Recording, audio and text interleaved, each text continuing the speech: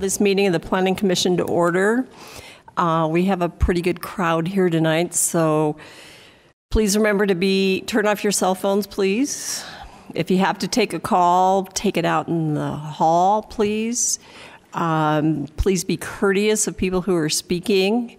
Uh, If you are here to speak on a particular item, you can come up when we call for the public meeting, state your name for the record into the microphone, and you'll have two minutes to speak. If someone's here from a community council, they have five minutes to speak, but we pretty strictly enforce that. Um, and like I said, be polite to other people, no booing, hissing, cheering, carrying on, okay? Okay, we'll get the meeting started. Um, I need a motion for the approval of the minutes from the last meeting. I'll move to approve the minutes. Thank you, Weston. I'll second that. Carolyn, thank you. Adrian, Abstain. okay, Brenda, Yes. he's sitting next to, Bre- oh, Caroline, Agree. Caroline. Agree. thank you. Weston, Yes. Amy, Yes. Matt, minutes, This minutes? Yes, a thank you. motion to approve, isn't it? Just Yes, confirm. yes, Sorry, yeah. I'm late. No, we, we knew you were going to be late. Thanks for being here. Uh, The chair has nothing to report. The vice chair is not here. Anything from the director's chair? Just a few things. Um, the Commissioners, your attendance is imperative the next several months as we have a lot of items coming uh, down the pipeline for your review. Um, If you're absent, uh, not for public discussion, but please give a reason to um, Marlene uh, if you are going to be absent, so we- just so we have like a record of um, what's happening. Um, if you are going to attend the field trip, please be as definitive as possible um, so we know whether or not to wait for you. Uh, and then uh, keeping in mind that those upcoming meetings will be full, we, the vice chair and the chair have asked staff to try and limit agendas to five items or less. Um, that said, it's going to be a challenge. Um, and so, if obviously, if for some reason we don't get quorum on any given night, um, that's only going to throw that five item limit out the window for the next couple of meetings. Um, we uh, have sent out an, an email uh, requesting your attendance at, um, and I guess you could call it an ad hoc meeting on July 31st because the second meeting falls on um, Pioneer Day. Obviously, no one's going to, we don't have a meeting that day. So we are trying to have a second meeting in July. So that'll be July 31st. Um, at the moment, we're trying to limit that meeting to just city initiated petitions and briefings um, so we can have a more um, engaged conversation about those particular items. Um, we may have to add a um, an applicant driven petition to that agenda um, if the earlier July meeting is too heavy, but um, we'll do our best. I think that's it. Thank you. Not, not good news, but It's a busy time in Salt Lake City. yes, yes. All right, we'll move to, our first item is a subdivision plan development amendment at approximately 1570 South Main. It's, are you doing that one? Okay. I was going to say, you don't look like Eric.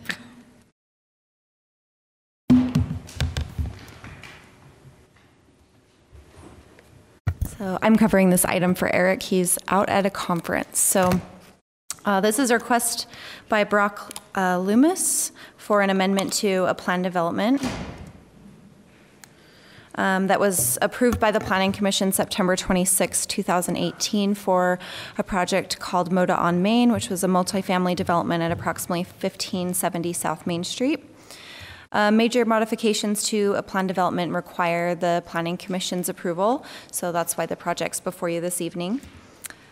The proposed changes would allow for each of the 11 units to be platted on their own lot. No other to the, no other changes to the site or building forms that were previously approved by the commission are proposed with this amendment. Uh, The overall development site meets the um, size requirements for the zone.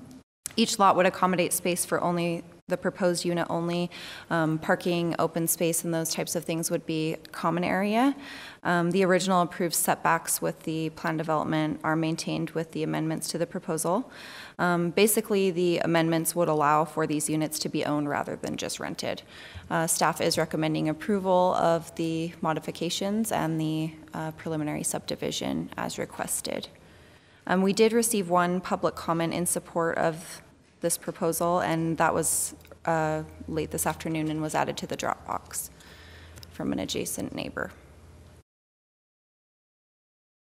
Questions?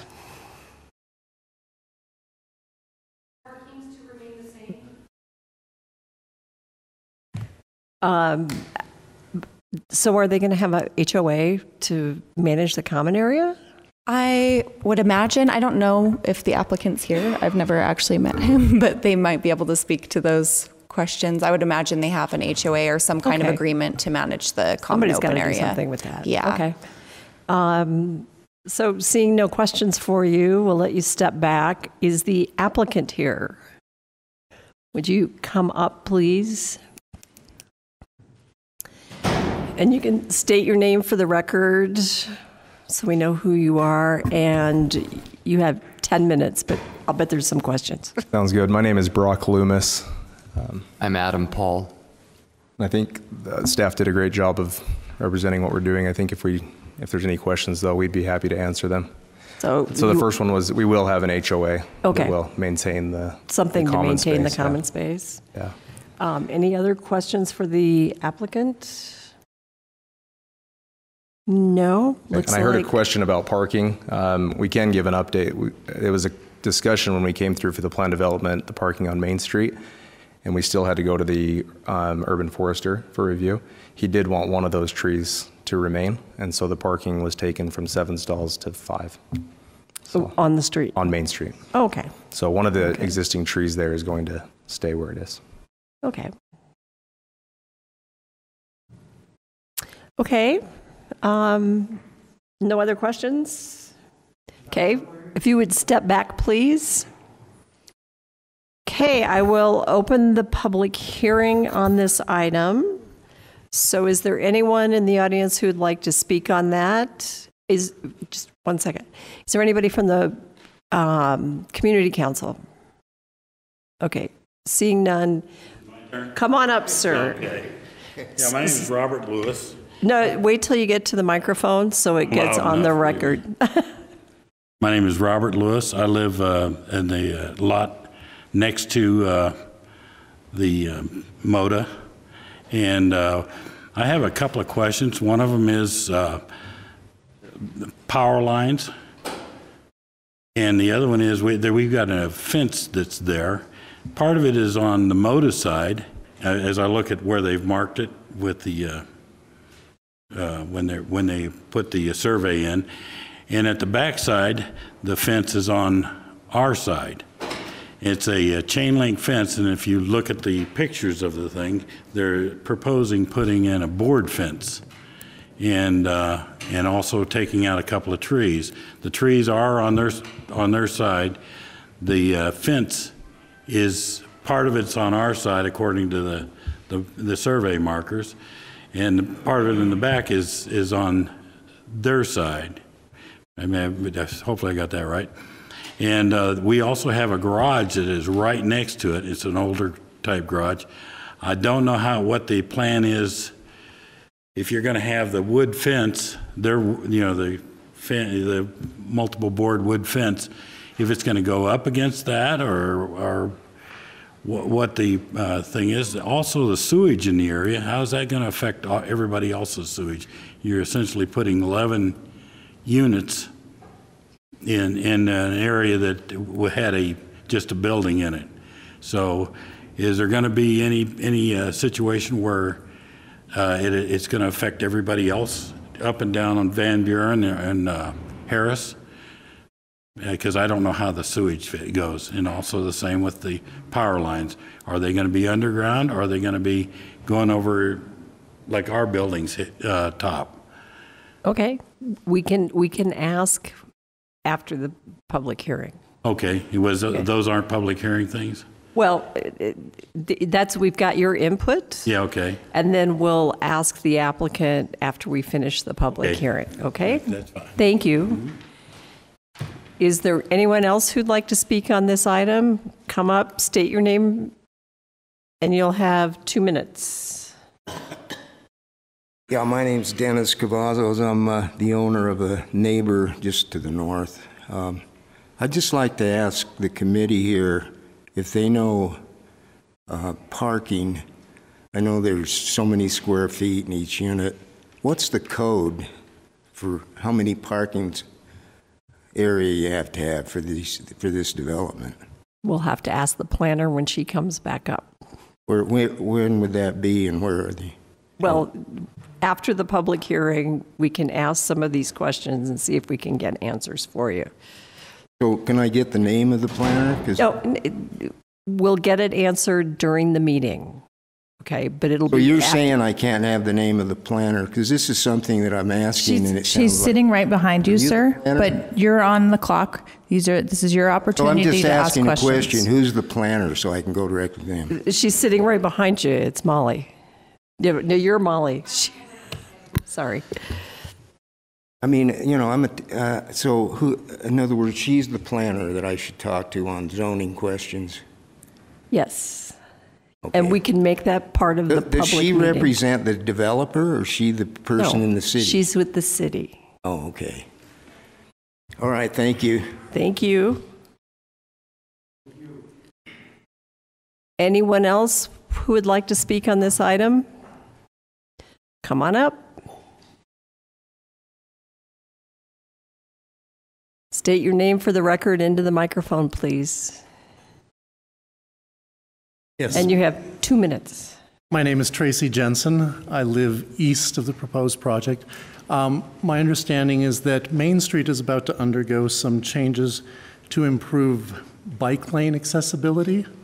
I'm wondering how that's going to be impacted with the street parking that's proposed with this site? So if that question could be answered. Um, Thank you.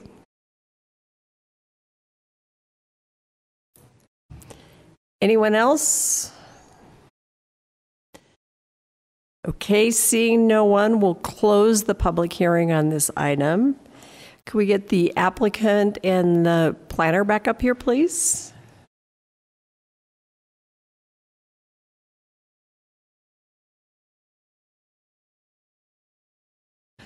There's, there's room for everybody up there. I'll come up together. So you heard some of the questions. Um, Yeah, I was just How- jotting down some notes. Power, is the power going to be underground? Power will be underground. Okay. We will, we will be bearing the power. And what's going on with the fence and the fence in relation to the garage next door? I will probably need to, it'd probably be good if I came by and met with, I think it was Robert, the neighbor, and just take a closer look at that with the fence and we can coordinate.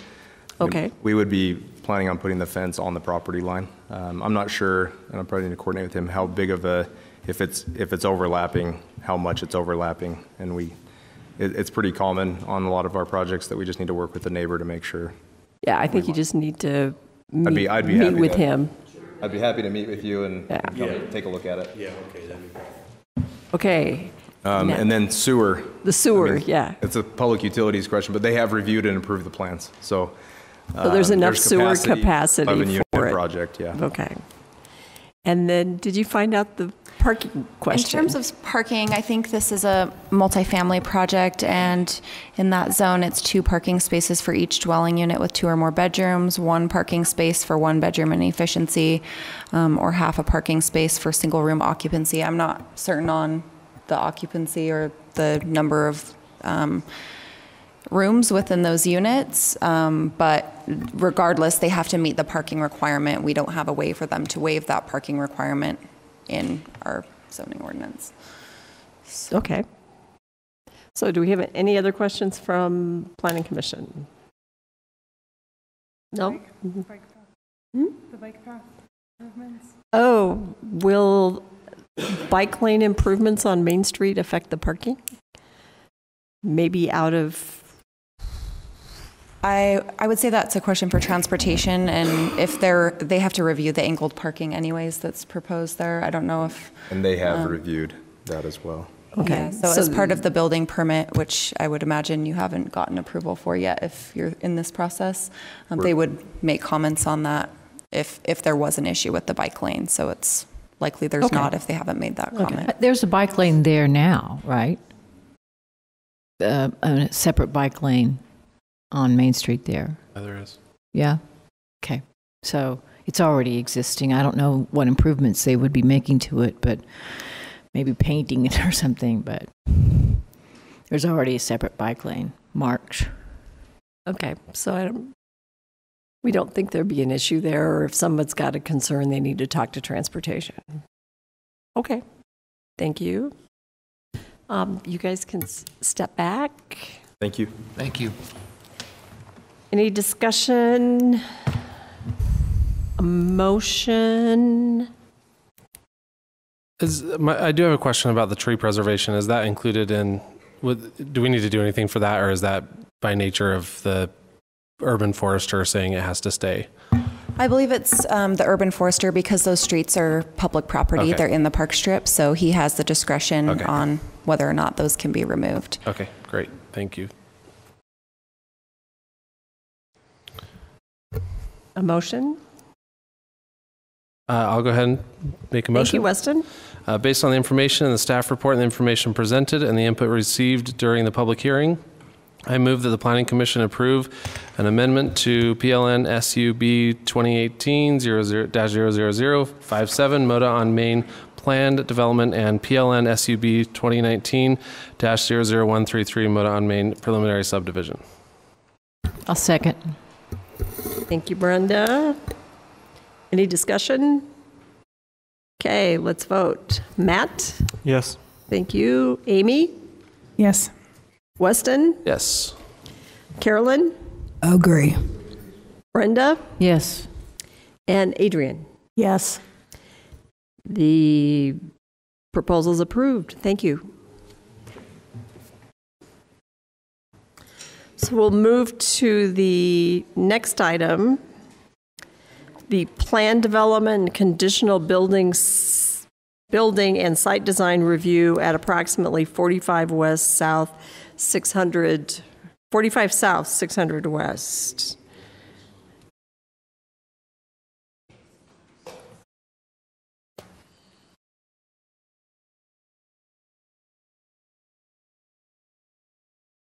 You're up, Amy. I know, sorry. It's okay. I was just trying to give them contact information for the planner on the last project. Good job. That's not me after today.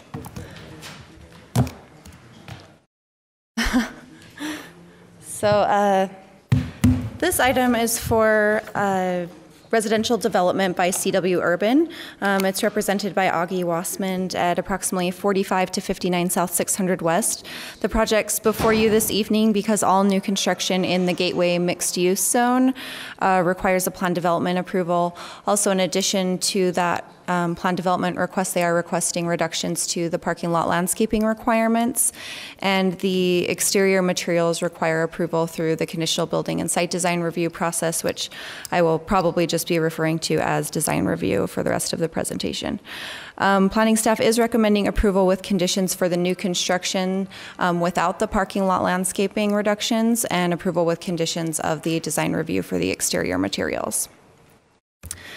The development includes four separate four-story buildings with a total of 48 units. On-site parking for the project is accessed from 600 West um, and located interior to the project. There's also a mid-block walkway identified on the downtown master plan, and that's been incorporated into the project into the project along the eastern property line, running north and south. Um, in terms of the specific requests that are the specific requests and modifications that are before you this evening. Um, the applicant is requesting reductions to the parking lot landscaping requirements through the plan development process. These landscaping regulations are required when a, a parking lot has 15 spaces and, with it, and is within 20 feet of a property line. A seven foot wide landscape area is required along the perimeter of the parking lot. Those callouts of the seven feet show where that seven foot width is required. Um, the applicant is requesting to reduce the landscaping along the north and south portions. Um, where approximately 874 square feet of landscaping would be included in those areas, um, 506 square feet is proposed. The interior of the parking lot, 5% of that is required to be landscaped, and that equals about 500 square feet. Um, and it's to be dispersed throughout the parking lot, and each area is required to be 120 square feet and five feet wide. And the proposed landscaped areas do not meet those dimensional requirements. Um, the total area of square of landscaped area within the internal area of the parking lot is 380, um, again, where 497 is required. The intent of the interior parking lot landscaping is to break up large expanses of, of pavement, provide relief from heat island effect associated with paved areas, provide shade protection, and reduce impervious surfaces with environmental design that provides areas for storm runoff. Um, the zoning ordinance states that the intent is to require higher landscaping for residential uses, principal, um, specifically multifamily uses, than for non-residential uses. Uh, staff did meet with the applicant and made suggestions for possible modifications to these landscaping standards that could potentially still meet the intent of the re these requirements. However, the applicant moved forward with the design that's um, before you this evening. Uh, the narrative indicates that the reduction would allow for better circulation throughout the site and the ability to provide the mid-block walkway. Um, however, the mid-block walkway is already required as part of the development. It also indicates that the design would allow them to move the parking lot interior to the site, uh, but the GMU zoning standards are already require the parking lot to be interior to the site or set back 30 feet from the property line. Um, those are built-in standards uh, to enhance the overall experience of you know the pedestrian experience in the GMU zoning district. Um, the narrative also indicates that this would allow them two additional surface parking spaces on site. Um, the maximum parking allowed for the project is 24 spaces. There are 31 spaces proposed on site and eight off site parking stalls. So they will be going through transportation demand strategy to increase the parking beyond the maximum. Um, so staff's opinion is that given the project's proximity to mass transit and the potential to explore the possibility of off-site parking on the um, underutilized parking lot to the north of this property. Um, and that that parking lot could also tie into the mid-block walkway that's proposed with the development. Staff doesn't think that reduction of the landscaping requirements is an appropriate modification um, to accommodate the parking that's already beyond the maximum spaces that are required for the development. Um, again, we don't support the reduction of the landscaping for the mid-block walkway or the parking interior to the site because those are things that are already required by the zoning ordinance. Um, as part of that analysis, we considered the purpose of the plan development, which considers the relationship between the proposed um, reductions and um, whether or not they result in a better project than just the strict zoning would require. In relation to the conditional building and site design standards for uh, the proposed exterior materials, the GMU zone requires that all buildings have a minimum of 70% of exterior materials be brick, masonry, textured, or patterned concrete. And then any other material, if it's used um, beyond just minor building elements, requires this design review process. Um, staff is recommending approval um, of those of that request with conditions. Uh, the elevations that face the public way um, incorporate a lot of uh, detailing and projections and recessions with the porch element. Um, however, we are requesting a condition of approval related to the interior facades that are adjacent to the mid-block walkway. Uh, the GMU design requirements require architectural detailing that facilitates pedestrian interest and um, in addition to those, the conditional building and site design review standards um, discuss pedestrian orientation and detailing at the ground level. Uh, the project does have a mid-block walkway. Um, it's identified in the master plan. Um, they've incorporated the walkway along the eastern portion of the site. Um, because they are going through this design review process, that also triggered them to have to include public art within their proposal. Um, there's a rendering of the public art that they've proposed, uh, two different options, and then that arrow points to approxim- approximately where they intend for that art to be located. Um, we did get some comments from the Arts Council um, on that public art, and that's included in the staff report. And we are also recommending some conditions of approval related to the mid-block walkway that include providing an unobstructed pedestrian pathway, greater visibility of the public art which is proposed along the walkway, and um, standards for public spaces um, in the conditional building and site design process for which includes sitting spaces, shade, and um, things like that. So here's some photos of the existing site um, from 600 West. The bottom portion shows the parking lot that's north of the property. And this is the surrounding development um, across the street, as well as just further down the block. And we, again, have analyzed the project for compliance with the standards for the plan development and for the design review, and we're recommending approval uh, with conditions for the new construction without the landscaping reductions and approval of the ex exterior materials through the design review process. Questions for Amy?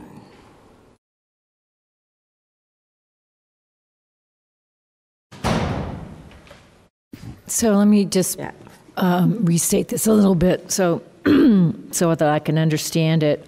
Um, the applicant is asking for more parking spaces than is requ- actually more parking spaces than the city not only requires but allows, right?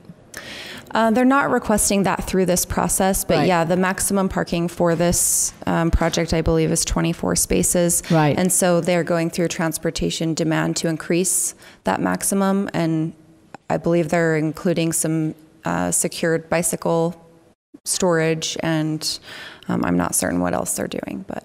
Okay.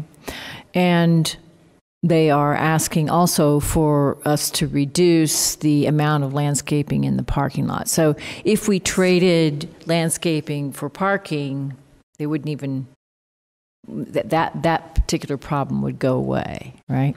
Um, yeah, if you can, it would need to be tied to a standard of how, how they're meeting that requirement. Right, I understand that.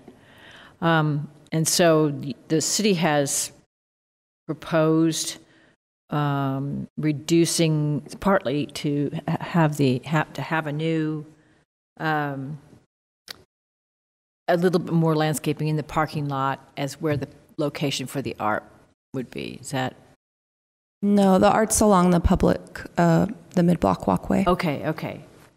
So what was that drawing you showed? That one. No, go forward. That one where you're saying remove the parking spaces. So the idea is that the mid-block walkway will connect um, once it goes through the properties to the north and south when they redevelop, but also the connection from 600 West right now. So that driveway approach is utilized for their parking access, but is also a pedestrian access for the mid-block walkway. So that, but, but that, one of the conditions you're saying is to, is to take out those two parking spaces there and Yeah. make it part of the mid-block walkway, and landscaping and so forth.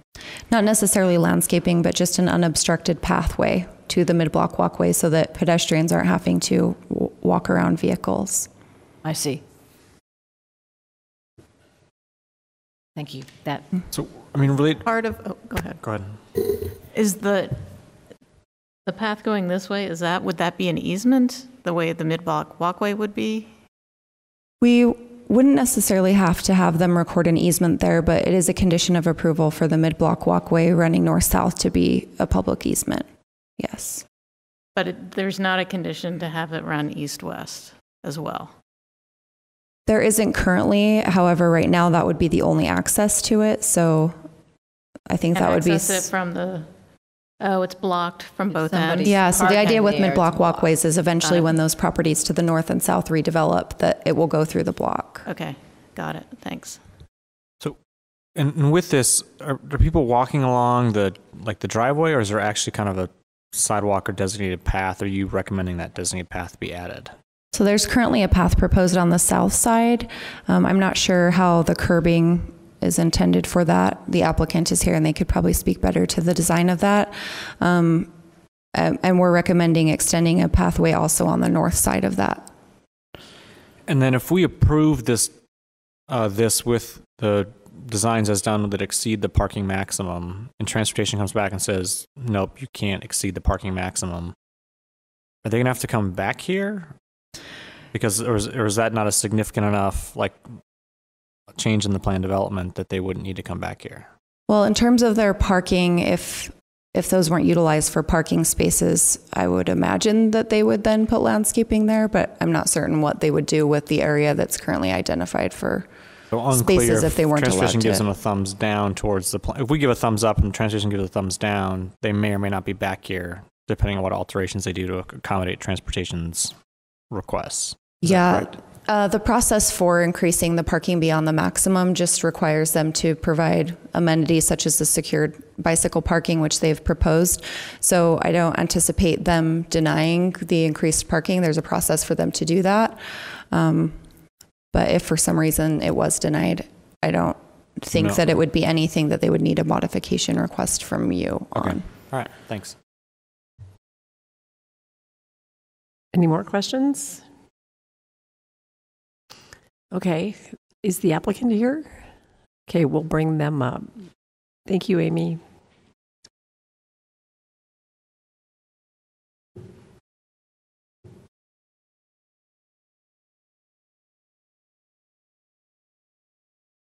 And if you would please introduce yourselves, and you'll have 10 minutes.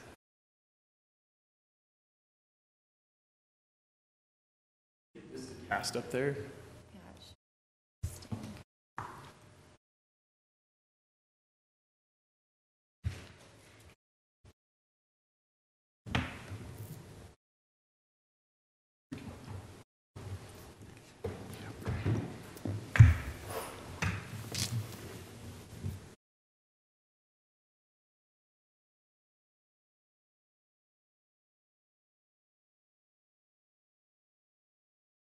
What do I do? And, and we won't count it against your 10 minutes. Which thing do I unplug? Oh, there it goes. Well, this isn't what I want on the screen. I can just represent her arguments. You need to drag it over. Is it too?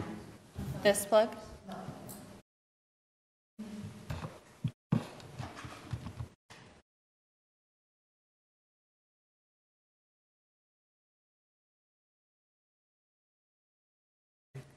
Can you drag it over? Is it acting as a second screen?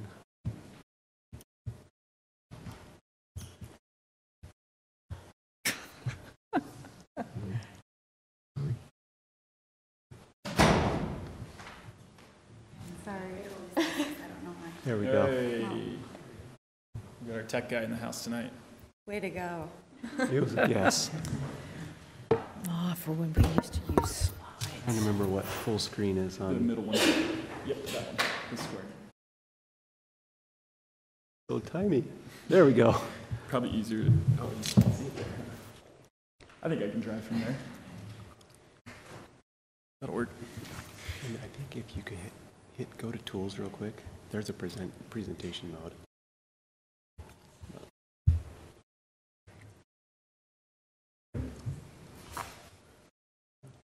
Just go. Click, click back on your tab and just tap through it. Click right there. I'll just. All right. Sorry, we're kind of low tech. um, my name is Augie Wasman with CW Urban. I'm John Galbraith with CW Urban. I'm Huy Moraes with CW Urban. Um, so first of all, we just want to say thanks uh, to all you folks for being here tonight. We appreciate it, and also we want to thank Amy, um, who was the planner on this, for unpacking everything you guys just saw her unpack. Obviously, there's a lot going on here, um, and she's been really great and uh, mostly patient with me. So I really appreciate that. Um,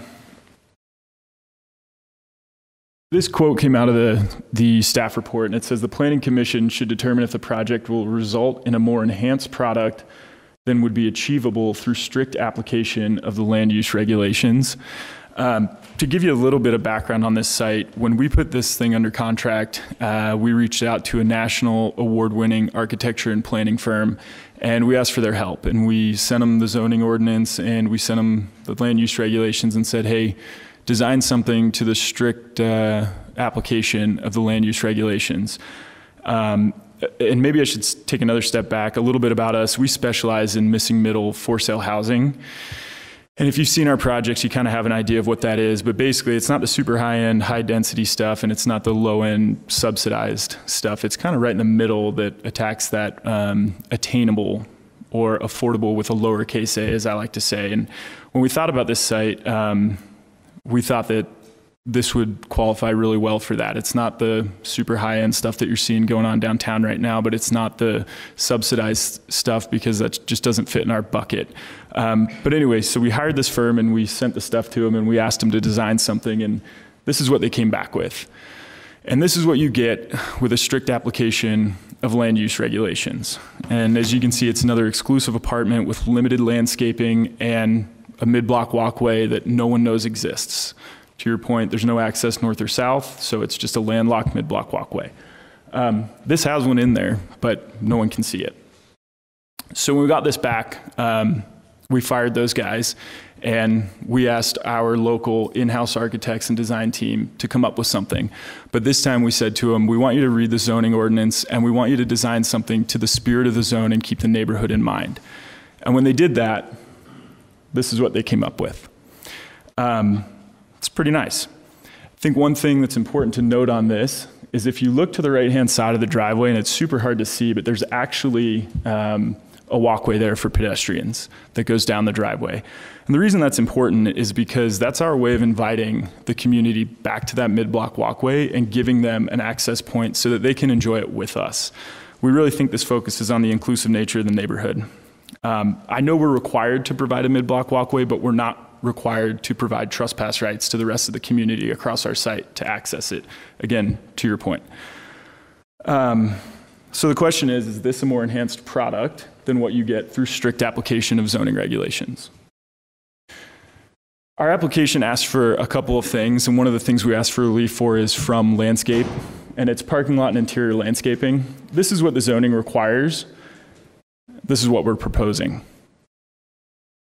This is roughly 1,371 square feet of landscaping as required by zoning regulations, and we're proposing over 5,700 square feet. So we're not asking to get rid of the landscaping, we're just asking to move it to a different part of the project, which you can see here. Uh, again, is this a more enhanced product?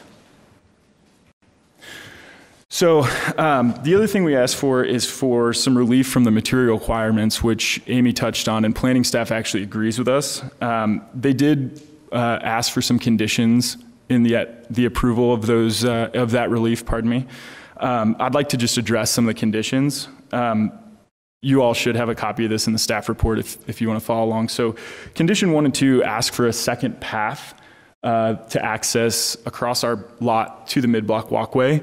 Um, one of the things that we've done is we've actually decided to stamp and stain the concrete, which if you look up here, you can see what that looks like. So this provides um, not only a drive aisle, but also an inviting place for pedestrians and cyclists as well. So we feel like that sort of satisfies the second access point. Um, the other thing that they've asked to do is to get rid of these two parking stalls, which obviously parking is a hot button tonight, and not just tonight, but across our city. If you live in this neighborhood like I do, you know that parking's a real problem. So we did everything we could to keep parking on site, and I think any of the stakeholders would agree that that's the best bet for the city. Um, part of the problem here is that, again, we're not required to provide this access, and we're just doing it because we think it's the right thing to do and we think it's the right thing for the neighborhood, and we feel like we're being punished by having to delete these two parking stalls. And it sort of leads us to believe that no good deed goes unpunished. Um, the third and fourth condition asked us to provide some shade trees in the mid-block walkway, uh, and they also asked us to provide a sign stating that it's public place and the hours that it's open. Um, this was a really big application, and we understand how this could be overlooked, but this is actually the renderings that we put in our application, and we fully intend on a planning of providing the benches and the shade trees, so we're on board with that. We also don't mind providing a sign. We just ask that we could pick it so it sort of matches the aesthetic of the neighborhood. Um, Condition five is a, a little bit more, more of a technical condition. It asks us to move our gas meters um, to the outside walls, so the walls that would be facing the neighbors. The problem with that is that's where our electrical boxes are located, and by code, we can't run gas lines and electrical lines that close together. So we've actually decided to place our gas meters here, and they're in this rendering, believe it or not. They're just really well camouflaged by the landscaping. We're happy to move them to the outside of the building. We would just have to bring these big electrical boxes in, and we just can't hide those. So that's why we have the gas meters where we have them. Um, condition six asks for some additional architectural design uh, in this portion of the project, which is a, a private inward-facing facade. And we definitely appreciate that concern. Um, however, guiding principle three of the Salt Lake City Master Plan charges city planners with providing, quote, access to a wide variety of housing types for all income levels, end quote. Um, when we designed this project, we decided to forego a lot of the amenities you see in these other downtown projects going up right now. We don't have a lavish gym. We don't have free breakfast in the morning. We don't have a rooftop pool with mermaids in it. Um, we've decided to try to provide a little bit more of a dif- differentiated housing product that's available to all income levels. So you know, we get that this is a pretty plain Jane looking wall, and, and uh, we've actually taken staff suggestions into consideration, and we've come up with what we think is a pretty good compromise. So it's tough to see in this rendering, but we've actually added a differentiation in material, and we've also added some uh, three dimensional relief to the wall. Um, conditions seven and eight are actually very reasonable, and we think that that would hold not only us accountable, but it gives us a way to deliver what we say we're going to deliver. So we don't have any issues with those.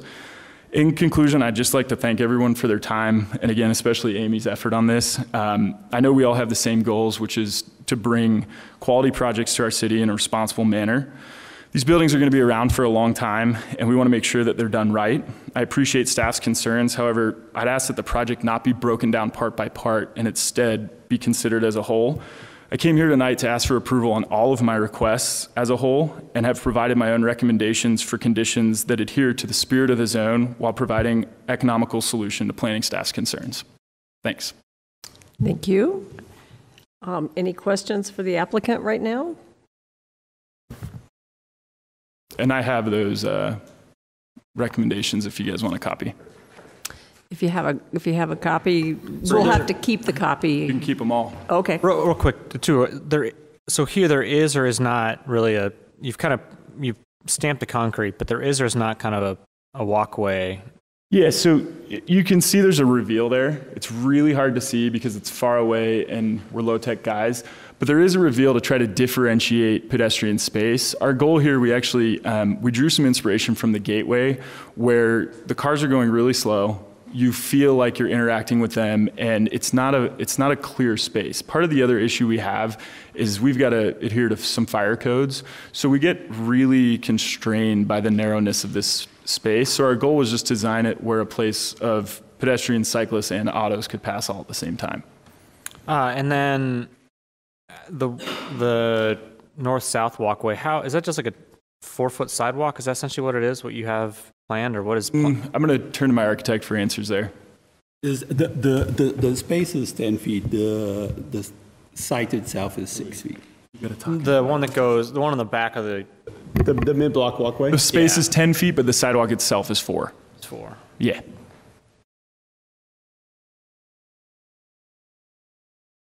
Any other questions right now? Maybe just one point of clarification on the parking. Um, we have met the requirements to increase our parking maximums, and we've done that at the request of stakeholders. So we, we qualify back to kind of the transportation question. We've met the transportation demand strategy requirements, and we do qualify for an increase in parking. I mean, it, it's, it's really rare to have a, a developer come before us and exceed the parking requirements. And I, I mean, I know you've got a certain style, and we've seen your stuff come through before and, and improve number of the developments, but um, with this project, I mean, what is, what is the interest that you're trying to achieve by expanding parking? I mean, because it's a pretty urban area. It's right next to the intermodal hub. It Yeah. presumably is a place that um, you know people with mixed incomes and stuff will kind of be and be kind of living. I'm just curious what your kind of th- thinking is there with expanding the parking. Yeah, it's a great question. And our thought there is that we're trying to get um, a different person than is just going to jump on tracks and go to work on Main Street. And that person's going to go recreate on the weekends. And it's really hard to take public transit to go fly fish on the Provo River.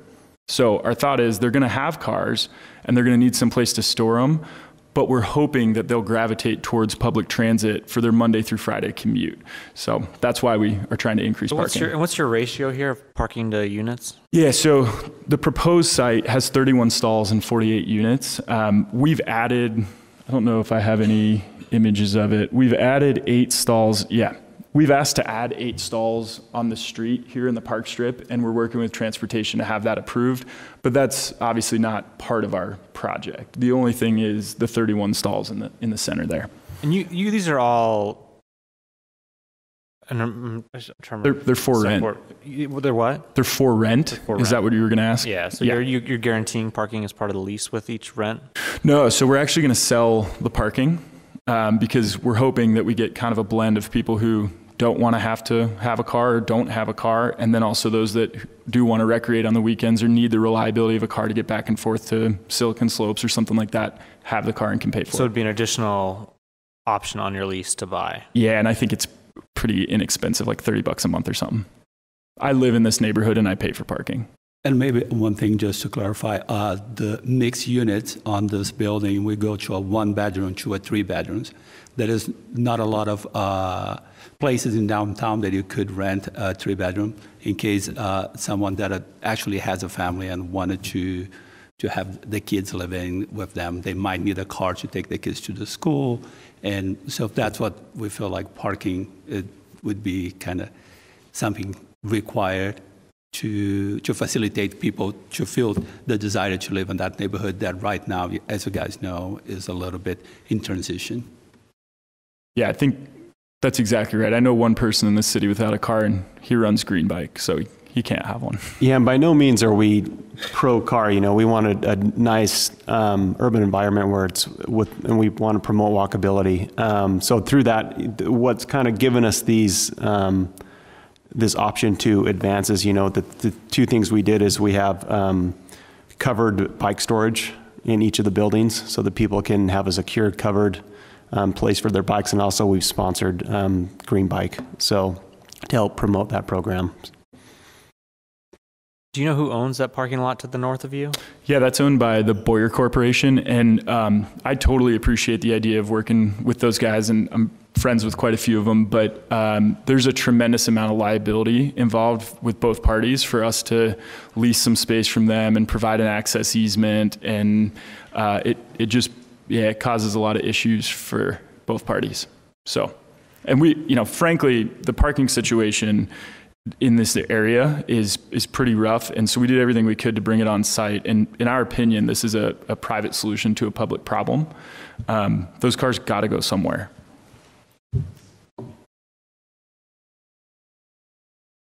Anything else? Anything else from anyone? Okay, we'll ask you to step back right now. Thank you. Thank you. Okay, we'll open the public hearing on this item. Is there anyone from the community council here to speak on this? Okay, is there anyone from the public who's here to speak on this item? Anyone? Going once, twice? Okay, seeing no one, we'll close the public hearing. Do we need staff and the applicant to come back up? Do we have questions for him? Adrian? I think I have questions for Amy. Okay, Amy? So on the landscaping, if they move it from inside the parking lot to the exterior, if mm-hmm. I understood that right, is that a concern for, for staff? Uh, The plans that they showed in terms of their parking lot around the exterior um, is what we did our analysis on. So So the- the what they've said tonight doesn't tonight- change that finding. It doesn't change that finding. No, because it's the same as what is in the staff report, if that But makes if the requirement was to just not eliminate the parking by having additional landscaping in the interior, but requiring additional parking on the exterior so that the total amount of, I mean, landscaping on the exterior, so Mhm. the total amount of landscaping is the same. Yeah, so it's specific to parking lot landscaping. Um, They also have a requirement because of the square footage, which has been taken out of the new ordinance, but they're in the old ordinance related to um, how much open space is required for the site. So in terms of that um, requirement that's in the analysis in the conditional building and site design section, um, it- it's not really additional landscaping. Um, We've staff has said because of its proximity to some other open space areas, such as the 600, um, or I guess the 500 West medians, the park block medians, um, as well as other areas like the Gateway Mall, uh, that we think that the open space meets the requ- like the intent of that requirement, but it doesn't change our analysis in terms of the parking lot landscaping. The commission, however, could make different findings regarding that, but it doesn't change our analysis because what they showed tonight is the same as what we analyzed in our proposal. Okay. Yeah. And then what are your thoughts on the stamped and stained concrete versus a separate walkway? Um, I know some of us like scored concrete. Uh, I think I think the paving is fine. You know, it, shows a shared space. I think maybe separate pavings for the two different pathways in term, you know, not having all of the same paving for the cars and the pedestrian way. Um, but I don't have strong opinions on that either way. If I could just interject, when Amy and I talked about that one, um, I think we actually agreed. We we liked the idea of having the walkway along the south side of that driveway to help define kind of the safe pedestrian area to walk and where the cars would go.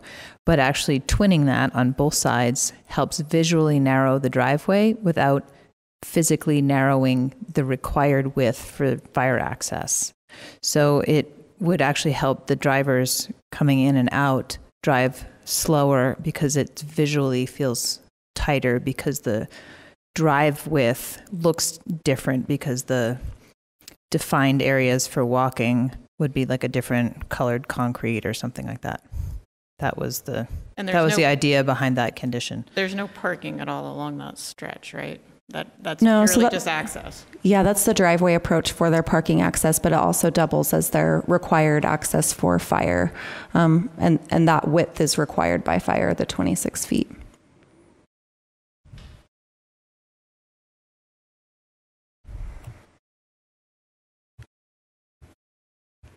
Any more questions for Amy?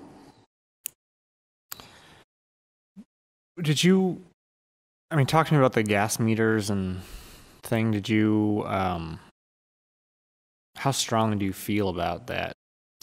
So uh, there's a condition of approval rated, uh, related to screening mechanical equipment associated with it.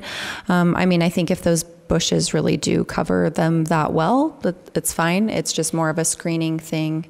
Um, and in, and just improving that pedestrian experience along the path. Not so much that where they're located, but more that they're appropriately screened. Like, so five Yeah. reads gas meters for the building will be located on the interior side yard of the parcel as opposed to on the driveway. But if you were, to if we were to say gas meters will be appropriately screened, with landscaping or other? I mean, is that is that more the issue that we're trying to get at? than- Yeah, than and- like where they're located. Right, and if there's just even enough area along there to also provide the pedestrian path and the required 26 feet.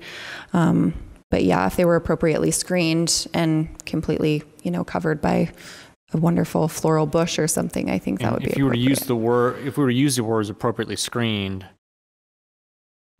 do you think we'd need to articulate what that is, or can you just put up like a box around it? Would that be considered screening? That would be up to you. Just wondering what screening the city considers as appropriately screened, or what in the ordinance or other places. Yeah, I mean, I think in some of our other ordinance sections, we say, you know, that landscaping could, could be used as screening. um, In terms of like garbage areas, they can be screened with fencing. um, But again, whether or not they have enough area to provide something like that, I'm not sure. Does the applicant have another answer for that question? Maybe you can. You need to, you need to come come up. up, please.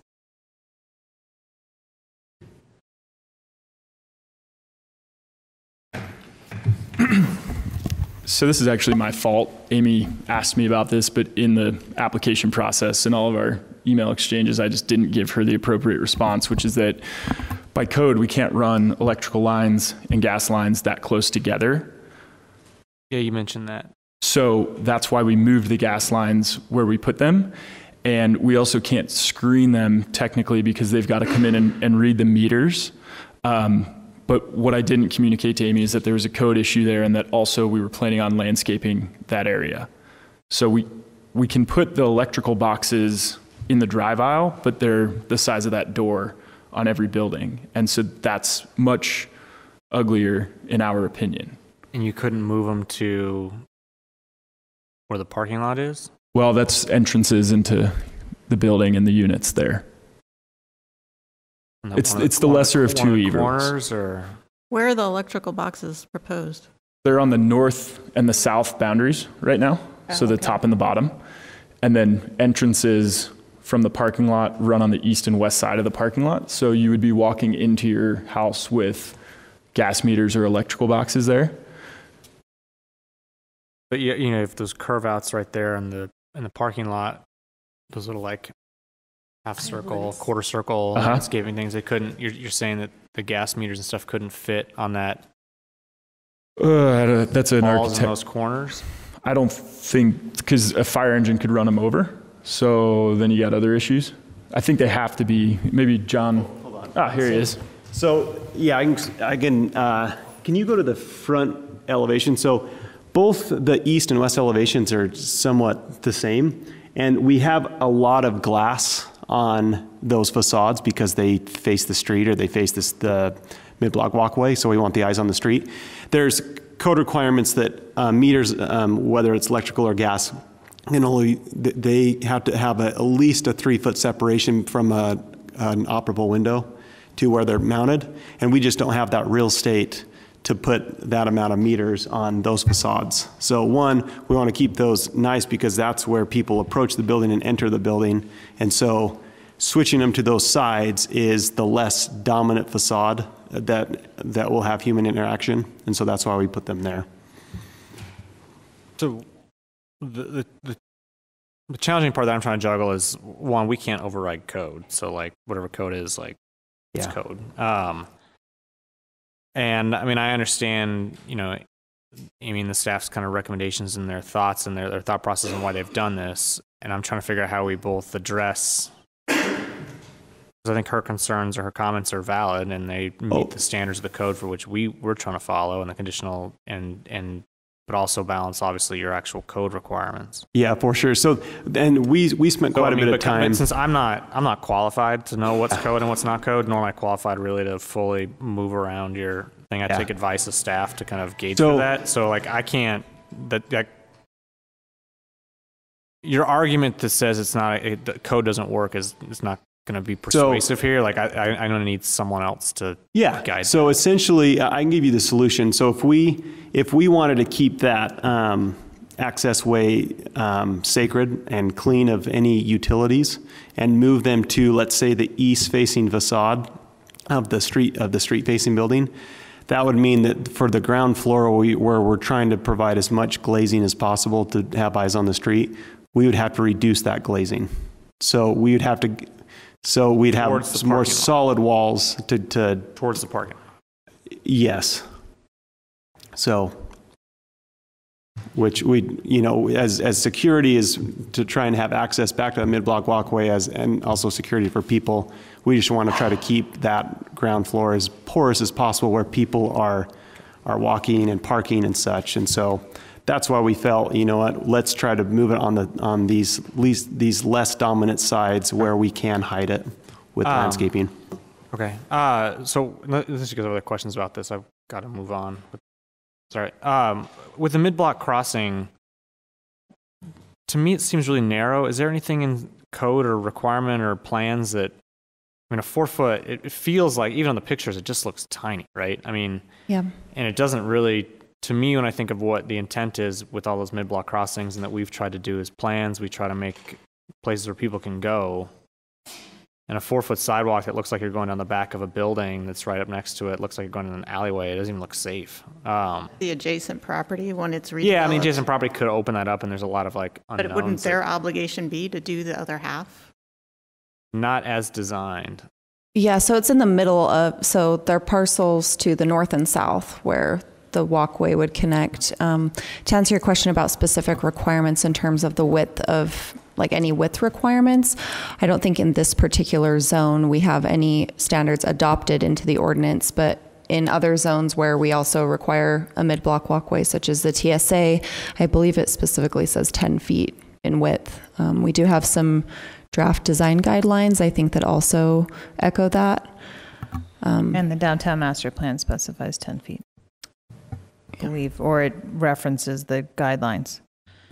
So they have 10 feet from, I think, the facade of that, of the, I guess, the east facade of their buildings and the property line. But the actual pathway, um, that includes everything. If you were in a TSA zone or a downtown zone, putting one of those in, is it still the same? Is it 10 feet with the facade, or is, what's the code in those? I think it specifically says a 10-foot pathway. Um, but I don't know. And this is in the downtown master plan. It's not a downtown zone, but the, what Molly referenced is in the downtown master plan. Um, Okay. Anyone else? Brenda? Um, so I just have a question, and maybe I'm off on some of my um, some of my measurements. I'm looking at your parking lot, and I'm noticing that on the west side of the parking lot, uh, you have an extra oh, maybe five or six feet um, that you don't actually need um, for parking. In other words, between the two stalls that line each other, and then you have the 25 20 foot uh, um, uh, way to get there. It's really hard to see on this. If you're looking at it like I am, you can see it very clearly. Behind the parking spaces that are on the west side, there's about five or six feet that seems to be kind of extra. In other words, your parking area is wider than it actually has to be. Isn't that correct? Yeah, so the, the shaded area that you see is fire code. Right. The distance between the stalls is parking code. Um, not, no, not 27 and a half feet, no. So I'm, they're I'm not quite sure, but it's more like 22 feet. So it seems to me like you might have five feet there. So they have 20 feet in between from the rear of the stall to the rear of the other stall, and that's required because of the Oh, hammerhead. that's Is not that what you're talking have. about? If you look at the drawing, they have 27 and a half feet. Uh, excuse me. There's a measurement on there, but I don't think, The, the distance between like the edges of the parking stalls is Yes. because we need to provide a fire apparatus, hammerhead, so the fire truck can turn around and, and drive outside of the, of the property. The, the fire truck has to come to that center space because they're all separate buildings. I see what you're talking about now, the measurement of the 20 feet. I'm not sure if the 20, if it's 27 feet that is required or the 20 feet for the hammerhead. I think it's It's 20 feet. 27.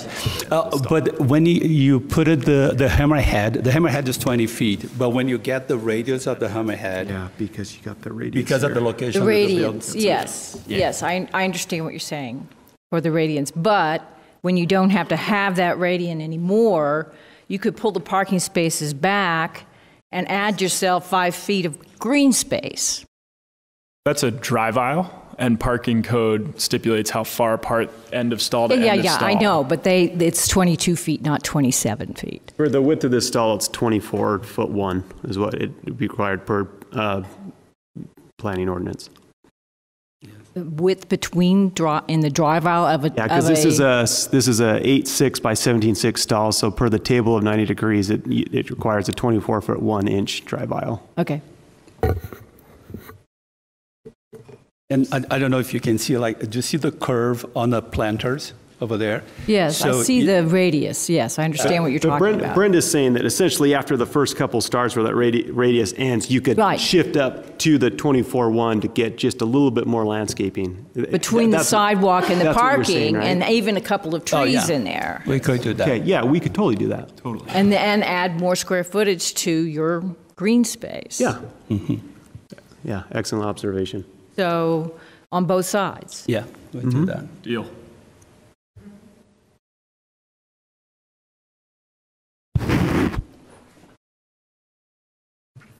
So I want to make a suggestion regarding those two parking stalls that are obstructing the view. So, um, my doctor's office, they have a walkway and parking. And what they ended up doing was creating a more narrow, right? So it was, so they still had all the parking, and they they created and they striped it so that you know this is where you can walk through and you can't park there. And so if you lost one stall and did something like that to visually connect and keep that unobstructed, because it actually does make a big difference. Um, you know, that's you're losing one stall, not even the full width. Like you wouldn't need 27 and a half feet for that. But um, that could be an option that I would be open to supporting to try to get to that unobstructed way. But you would also then have to visually somehow mark it so that people knew that was not a parking stall because people will try to park there.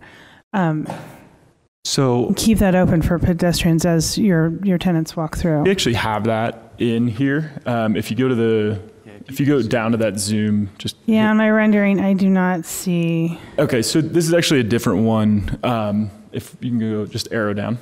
And even in a previous one, yeah, th- there is a space between the ADA stalls, and we're using that space that Yeah, is but are you striped. then are you taking the ADA um, that extra space for the ADA stall and and multi-purposing that for also a walkway? Absolutely. I, I don't know that that's appropriate, but If we just shifted that ADA stall up and moved the other stall down, that would put the ADA hashing right in the middle. And I understand your concern, which is that they need to be able to access that. And the point isn't for somebody to go stand there and block people. The point would be to walk through it and make connectivity to the mid-block walkway. So maybe something we could do is just shift that ADA stall up, and that I would think you would also need to do more than just hashtag striping it because if I were a pedestrian, I'd be like, "Oh, that's the ADA parking." You, you would need to be a little bit more visually creative to also let me understand that as a multi-purpose access. Absolutely. um, because obviously having that be the ADA extension is is very important to that stall. Absolutely. So, but you would need to do some sort of visual, and you would need to align it. So if you So it's centered. so it so it has that visual connection. I can see that, and then if you do something better on the ground to to identify that it's multi-purpose, I would be willing to support that. But you would have to you would have to move it. Yeah, uh, and something to point out is our plan to stamp and, and stain this concrete was to sort of satisfy that idea of having two walkways, and we thought that this would be better, but it almost sounds like maybe we should go back to two walkways with different colored concrete to make it really clear, and then incorporate maybe those two coming together as a pathway into that mid-block walkway, and we can just continue the I think it's an improvement. Yeah. because because you know we're here looking at this, but we also I I have experience with these in my community and how people uh, interact with it. Yeah. So, so that's kind of what I'm bringing here is like, this is, you know, you can have this conception and, but that's not how people end up. So yeah, having the different colors, having those visual cues, because we just did this in, in my community like last year and, and it was a big deal where the road was bisecting and it was a big deal to have them be differentiated for coloring for the motorists, for the pedestrians. Um, but I think having it visually line up as well is also very important. I would be willing to support, you know, if you're willing to do that. I'm totally that's that's fine with me, but I do think it's important to have that opening and not block it with vehicles because it you do you as a pedestrian you just feel like oh well now I gotta like worm my way through Yeah. and and I don't think you want that. We maybe could have started by saying that we're here to figure out solutions, not to say that this is the best design. So yeah, we're totally open to doing that, and I think it's it's great input. Thank you. Thanks. Uh, I, I agree with Amy on this, and I think that, um, you know, the other thing you could do is to ditch the teeny tiny useless green spaces you have. I'm sorry, and uh, and um, and move them toward the center as well, We'd love to do that. because then you you're concentrating your landscaping where you can actually be something, Yeah. rather than just having this kind of useless piece of We're totally into that as well. yeah. Any other questions, suggestions? Other than that, I, I, I- kind of agree that we're a little in, a little bit in advance of having so few parking spaces, especially for places that has a three bedroom units where it's quite conceivable, you know, there would be two parking spaces required for that unit, and um, and you know half or none for a lot of other units. It might be possible, but it's going to. I think it's a, maybe ten years ahead of its time. Well, thank you. So, Amy, I have a question in light of the conversations of concentrating some of that green space um, and then shifting that, like, for in terms of emotion in relation to how it's modifying the conditions you've laid out. How do we need to do a whole new one with new conditions? Um, so in the motion sheet, there's recommended motion. Then there's also a motion if you modify or remove conditions. Um, and then there's uh, not the recommended motion. So those are all listed out So in your motion probably sheet. what you Like- need to do is look at the motion sheet, pick the ones that you agree with, okay? Okay, that's a good. Yeah, it has some And then- pretty clear directions under that Well, and section. then and then come up with the language for the new recommendations. I'm going to admit I never look at the motion sheet until the meeting because I'm reading the staff report. So I will do that now. Us either, don't worry. So any more any more questions, or shall we try a motion here and let Amy craft the new recommendations? Well, why don't we try to craft the, our proposal for the changed motion? First, before First, we- and then. okay. And then. Before we start a motion. Before we start the motion. Okay, Understand let's what we're let's look at what the what the existing ones are. two parking spaces in front of the mid-block walkway to be removed. I think what we want to say there is that open space there will be consolidated with the um, existing or the proposed um, handicap space so that access into the mid-block walkway is um, uh, visible um, from the from the street, essen- essentially. Um, Right. Um, And pedestrians are directed there by the allowed there in any Okay. case. Um, I feel like number two still meets that. Like, you know, the the paving is proposed, you know, to be different, which is what I think you're all you're okay with that. I mean, I don't want to dictate what the material is, but understanding that that visual needs to be somehow achieved. We agree. That that should be differentiated, and yeah, that was just an oversight on our part. and number three, uh, I think everyone's agreed to that. Uh, uh, number four, everyone's agreed to that too.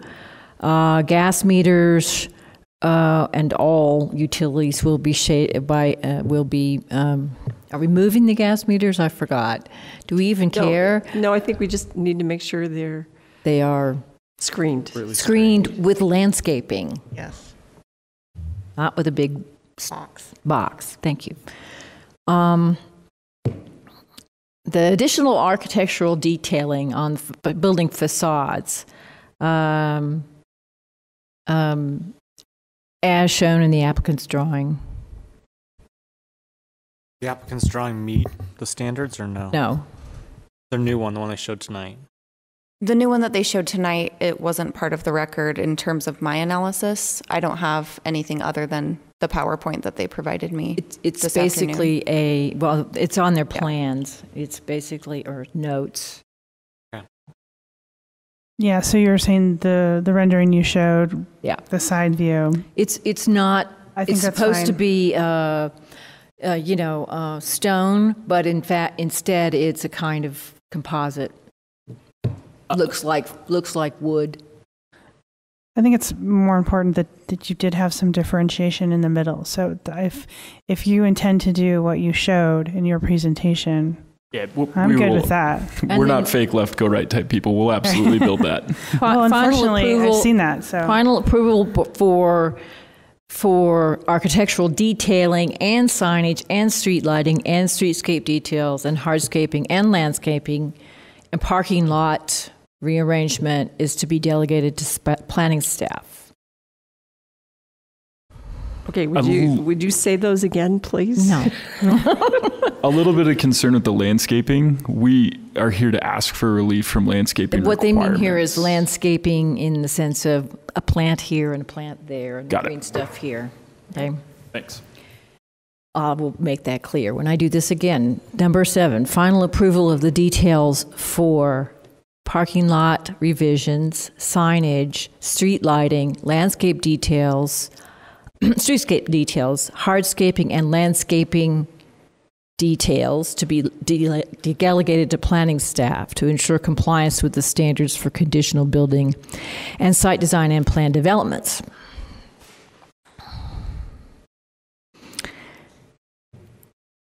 I think Brenda. All other motion. applicable zoning regulations and requirements from other city departments will also apply. I think that's a great overview. You should make the motion now. Okay, I move that whatever I just said, that's what we do. I, I think you have to, Is, is the, in, in the motion that's on here, is the denial of the request for the reductions of the land, parking lot landscaping, is that, has that been cleared up with the option to move those lots out, or are we, has that been clarified? Well, Not to me. I'd love a little more direction there. So, can I make a motion? Because that may clarify the, this. yeah, okay, okay. Okay. Recommend a motion. Okay. Based on the analysis and findings listed in the staff report, I move that the Planning Commission approve the plan development Request PLN SUB 2019-00128 for new construction in the GMU zoning district, um, period. Additionally, I move that the Planning Commission approve of the conditional building and site design review for requested modifications of the GMU urban design provisions related to exterior material requirements.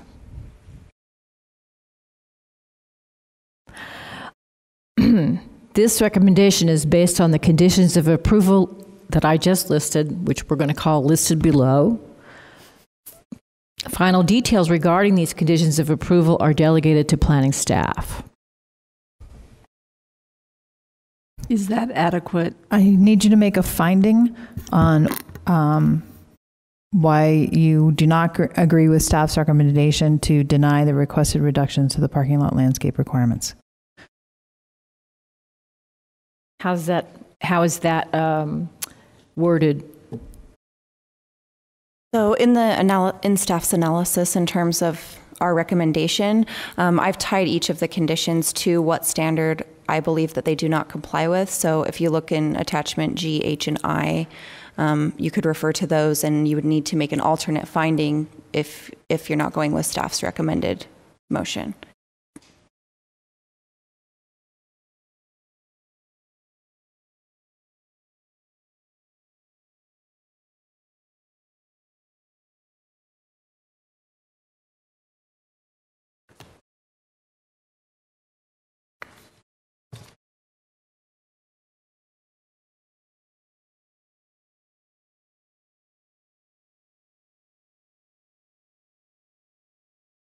Anybody can help. Well, is it, is It it doesn't have to possible be with your recommendation that that eliminates the need because then they will satisfy the, the requirement? On your recommendation to don't pull know. those They parking could be spots out? closer. They could be pretty close. It- So I could that- calculate that at about 300 square feet on each north and south. So that would be another 600 square feet. And how much short were they? So on the north side, it's supposed to be seven feet wide. On the south side, there's perimeter parking lot landscaping, Okay, seven right. feet in width. One of their areas is four Perimeters, feet in width. Um, And then on the interior parking lot landscaping, um, I have the exact amounts somewhere here in my notes, but, but they were off by, The view, she can. give or take, you know, 100, 100 plus square feet on both of those requirements. So could we tie it to the total parking lot landscaping? Or does it have to address the seven feet and the seven feet? So staff made findings related to the parking lot landscaping in our analysis, and you would need to make an alternate finding. Both of those are within the parking lot landscaping, and some of them relate to um, appropriate buffering and landscaping, and those are conditional building and site design standards as well as plan development standards, which is the process they're trying to request the reductions through.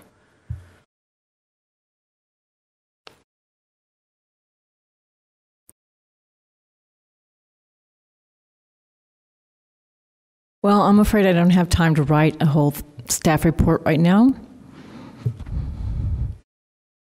So you're saying that um, to change this parking arrangement, we need to make a finding that Make a finding that you think they satisfy the standard in some other way. Sure. And maybe just a clarification, on, uh, on one side, where we are requesting the most is where we have a trash enclosure that is screened. Beyond that is a landscape of the parking lot of the, the project to the, to the north of us. So that, that extra, that seven feet is not really creating any buffer in relationship to the neighbor next to it. And on the south side, we are requesting a reduction of uh, a foot. Three feet. On the south side, there's a request for a reduction of three Three feet. It's four feet is proposed and seven feet is required. Right. Yeah, that's right. That's true, sorry, I misspoke on that.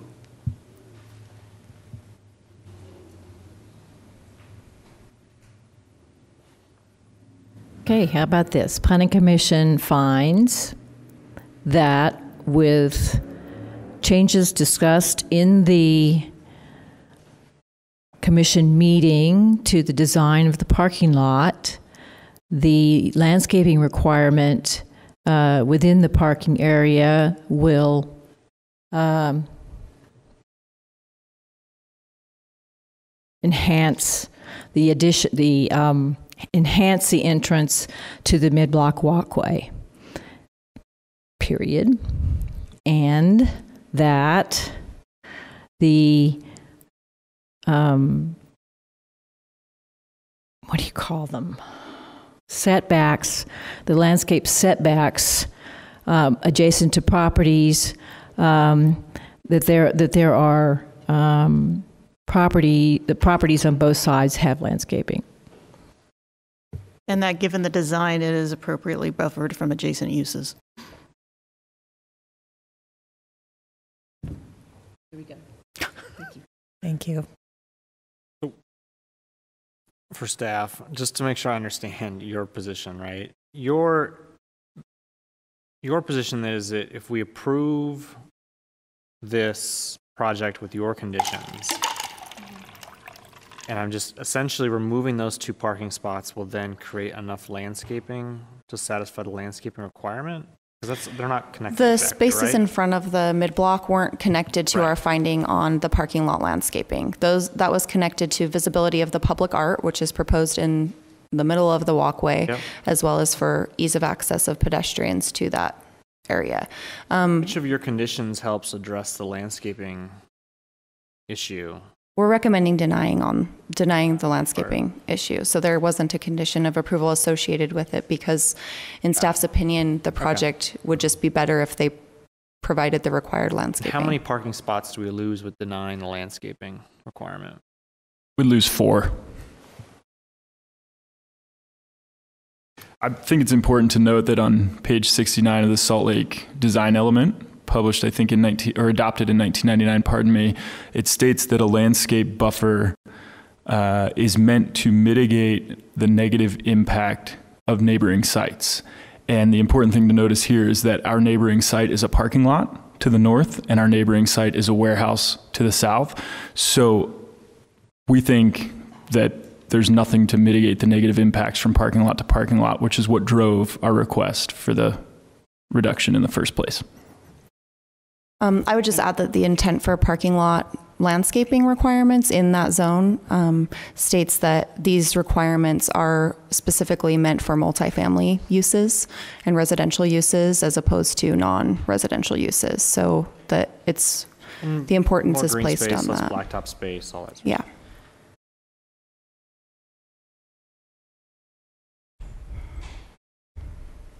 I, I have mixed feelings about the this, a lot of some of the stuff. I mean, I actually like the project a lot of different ways, and I'm, I guess I'm mixed because I feel like the Gateway District has so is a really cool spot um, and could really become this really urban feel. Although maybe it's moving to the Granary. That's kind of where more of that development's happening now, um, and Gateway's kind of struggle. But the original vision for Gateway was to be this kind of urban, very lively, walkable community. Um, and actually like the work that these guys tend to do. I think they are some of the better mid-level projects. Um, and I, you know, and I feel though, you know, we're kind of like, I don't know. I just feel like this feels like a weird project to put. Doesn't fit like originally what Gateway was envisioned. Now, all that said, like given its context, where it's located between the train tracks and the railroads, there's not like a lot that's really happening to the west or north of the project, and some of these sort of values of a walkable, lively may or may not apply. Because I'm I'm tempted not to I not to approve the landscape. I mean, follow most of staff's recommendations. Um, but I'm also like torn about it. Like don't know how much I. So, I've said my piece. We can move on. Just as a matter of process, do we have a complete motion that's been No. made? I don't believe it is. Okay, so are, are you, I'm sorry.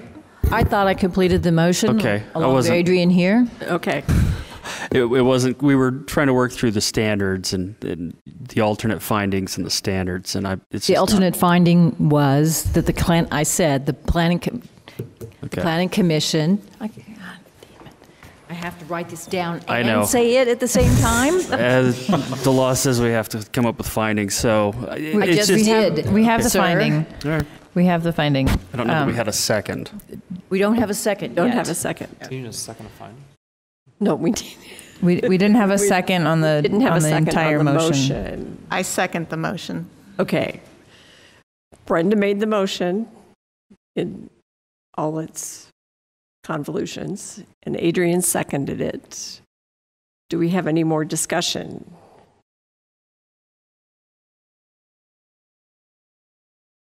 Are we ready to vote? Do we know what we're voting on? Is everybody comfortable with motion. that? Okay. We'll vote.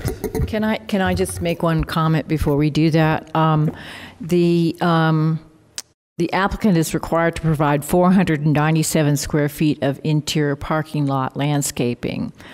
If they do as I suggested on that, just that one part, uh, uh, excuse me, and they provide 380, um, uh, which is 117 square feet of difference. If they do what I just asked them to do in moving the parking spaces in, they will have 192 extra spaces. So we do not need to forgive them for the for their landscaping. We don't need to have a finding on that with at all. those- yeah, we do have to do something about the uh, buffer ar- perimeter landscape, though. We have to have a finding on that.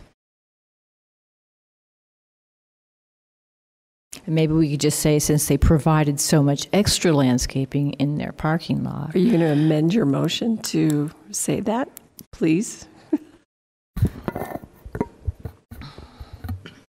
I, I think we had a complete My attorney do finding before. We had a complete finding. I think we go Because the that. finding was about the parking lot landscape requirements. Right. And you had a, you had a finding for that. I did. Uh, So are you amending your own motion? Or were you just trying to explain it?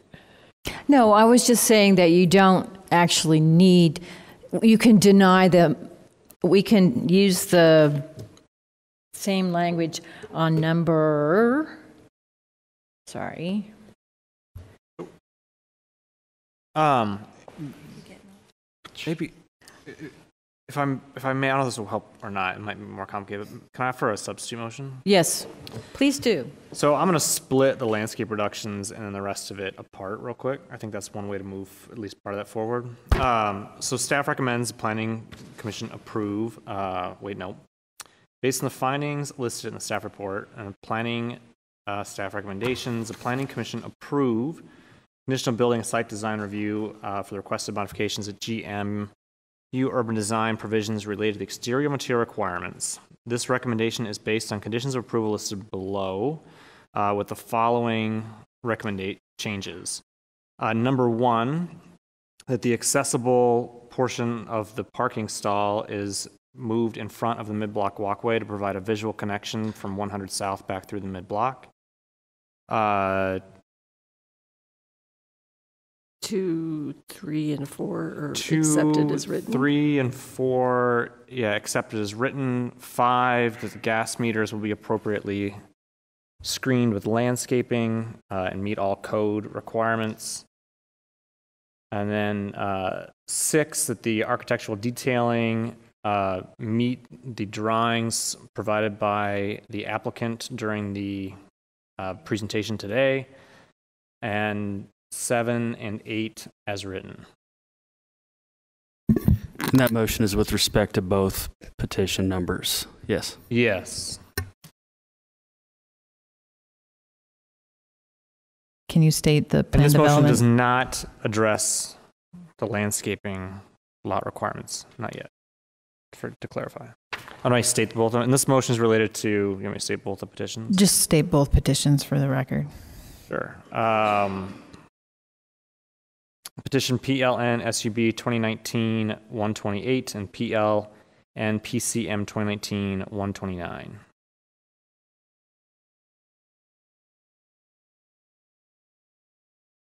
No. Do we have a second I'll on second the that. substitute? Second on this, who's, who? Uh, second? yeah, I second it. Okay, Weston, okay. So we're just being silent as to the requested landscape reduction on the I'll do another interior? motion here. You're going to do a second motion on that? Okay. Uh, yeah, I think we'll get, I'll try to get a second one through. Are you willing to accept the substitute motion and the, and the second? Okay, That's not necessary by your rules of process. The substitute Okay. motion prevails at the time. okay, thank you. Um, okay, so are we ready to vote on what Matt has presented? Okay. Adrian, Yes. Brenda, Yes. Carolyn, Agree. Weston, Yes. Amy, Yes. Matt, Yes. thank you. So And you have a second motion. which will, we'll see where people land on this one, but based on the findings listed in the staff report, um, uh, planning staff recommends, or the planning commission approve, oh no. So based on the analysis and findings in the staff report and the discussion testimony submitted today, I move that the planning commission deny the reductions for parking lot landscaping requirement requests by the applicant. A second. Can I You can, well, if there's no second, you can substitute it. You could substitute. substitute? Based on the analysis and findings listed in the staff report, I move that the Planning Commission approve the plan development request PLNSUB 2019-00128 for new construction in the GMU zoning district, deny the request re- reductions to parking lot landscape requirements, and approve the reduction in the I I don't think you want to deny, you want to accept the requested reductions of the parking lot landscape requirements with conditions or with a finding that, Yeah, you're, you're, you're thinking deny, but you- you want to deny the you, you want to. staff you don't- request. No, yeah. Take a deep breath.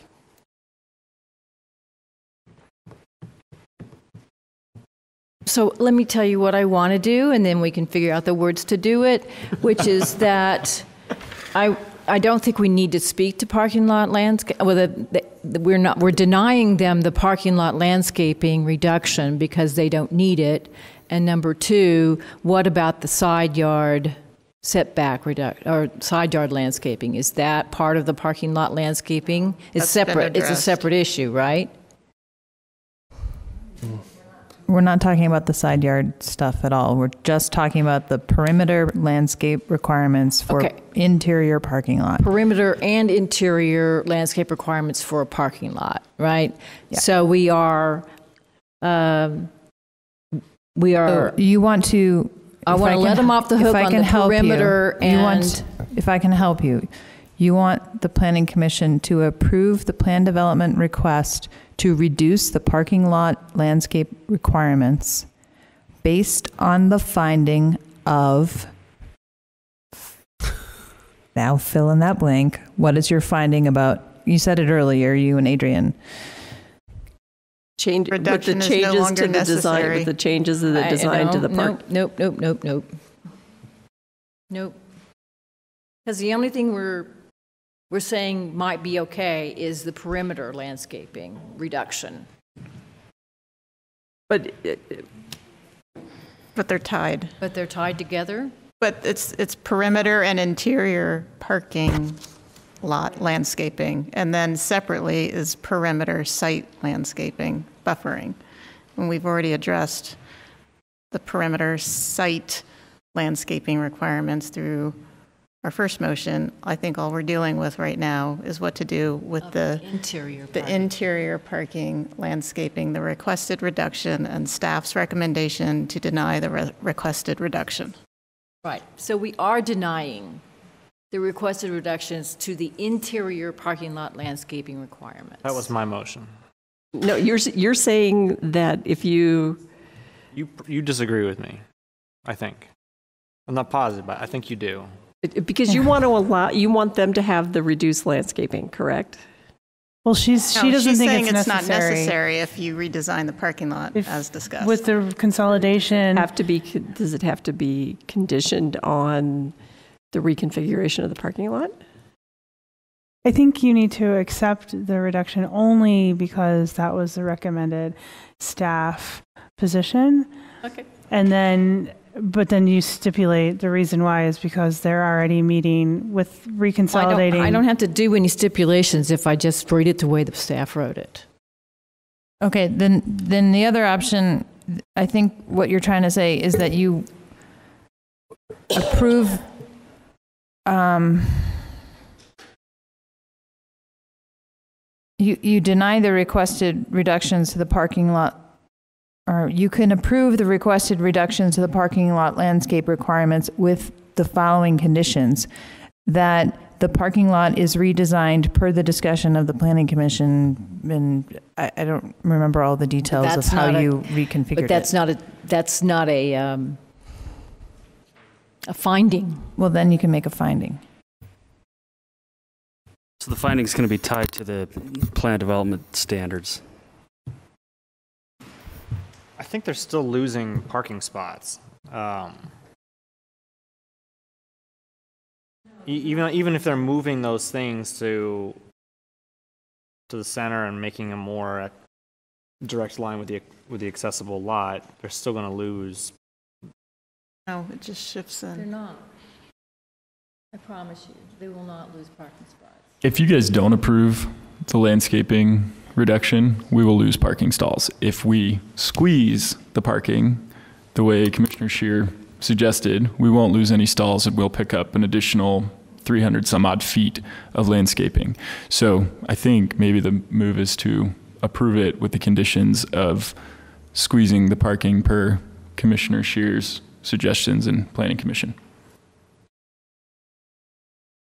So I'm curious, Molly, is would stating that reconfiguring the the parking configurations and consolidating landscaping equal a finding? to me That, that's, that's really, that's, standard. that's what you're allowing. The standard is, is one of these, the plan development standards that the purposes of, But they can meet the standard if they reconfigure the parking. Under, under this, under this current things that we've been talking about, they still cannot meet the perimeter landscaping Perimeter requirements. Okay. They still will not meet those. But they will be closer. Um, the perimeter is not changing at all, the way they've drawn it. There's, saying there's two standards. There's the interior parking lot that's- uh, landscaping and the only doing perimeter. No, no, we have, to- that part, what we have to do also, you see here, we have, it's, it's supposed to be, it's supposed to be seven feet, and it's only four foot one. That's one of the things that we are, Okay. that we are, that we have, does everybody understand this? I understand. Okay, I- I- help my- me out th- here. Well, the thing that I'm struggling with, however, is I, I- it's, from my understanding, a finding would come from your interpretation of the standard. And when you were talking about numbers here, it's hard to have a different interpretation of the standard. There's not, I don't, I don't feel like there's a lot of leeway in what the standard has there. I mean, it's, for a perimeter parking lot, it's, it must be seven feet as measured from the back of the lot of the curb. Got to have one shade tree for every 30 feet, one shrub for uh, three feet. So I don't know, I don't know how we argue I don't that know the either. standard's been met. There's not a lot of leeway to do that. Is so that the my purpose of the plan development is to provide relief from that, that requirement. And maybe it just, I don't know if it would help, but there's no requirement for landscape from site landscape. So what is required for parking is uh, around 450 square feet. Our overall site, we're providing uh, close to 5,000. So what we're trying to argue is that what we're providing is, uh, is even better than what is requested by the zoning ordinance. And then you guys could agree or not, but I think that's. I just want to add to- to what he was saying. The parking lot landscaping is separate from the landscaping that's required for the whole site. And he, I think in that statement, he bulked those together, not to confuse everyone even more. But they're, they are two different things Mhm. and two different requirements. It's required for the site itself, the landscaping on the site. So they're in that requirement of the conditional building and site design that I think it's like 10 square feet for every square foot of area or something like that. Yeah, and Um, I have the exact calculation in the report. Thank you. Just a minute. Um, And staff stated that we felt they were meeting the intent of that, even though they don't meet the overall landscape requirement in terms of numbers because of the close proximity of other, um, of other open space areas. Oh, I see. So they don't make that either. But you let them off the hook on that.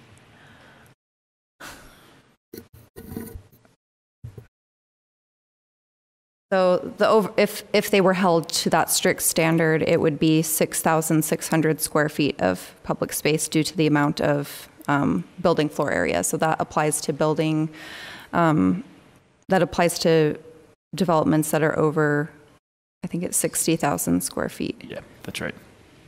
A gross floor area of 60,000 square feet. In terms of the overall landscaping, yes. In terms of parking lot landscaping, no. Well, in parking lot landscaping, they're 117 square feet off. That's really not very much either. So That's for the the size in- of a very small office. For the interior parking lot landscaping, um, they're required 497 square feet, and they are proposing 380 feet. For the perimeter, they are required 874, and they are proposing 506. So it's more than just 100, give or take. So given that their adjacent uses are surface parking lots, I find that the reduction in perimeter landscaping um, does meet the requirements of the code and satisfies the intent of the ordinance to lessen the impact of parking on adjacent uses. And given the proposed redesign of the interior parking lot, I find that the uh, proposed landscaping, as modified per the discussion here, would be appropriate for the scale of the development that the applicant is intending. We just changed that to we find? We, we collectively. It- Is that a motion? No, that's a finding. That's a finding. That's a finding. finding. Yeah, so Can you there's make my that into a finding. motion?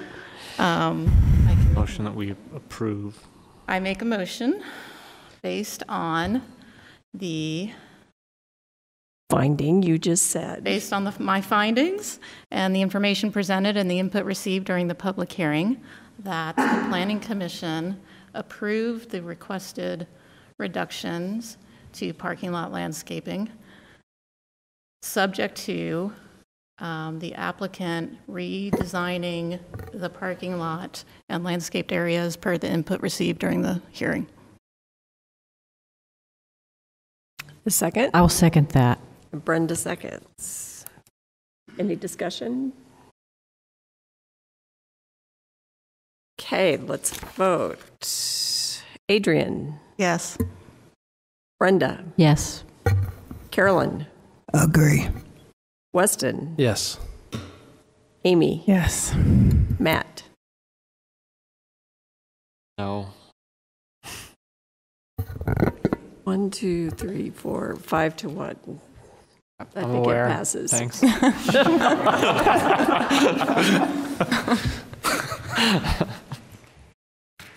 Okay, I think, I think, Thank you guys very much for your time tonight. Sorry about all the confusion. 17.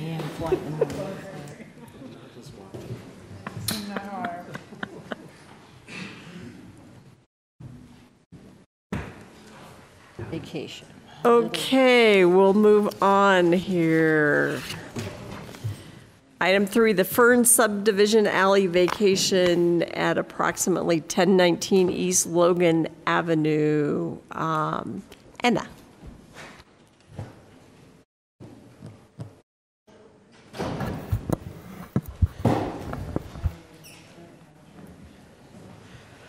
So I'm not quite sure how to get this up on the, the screen, so.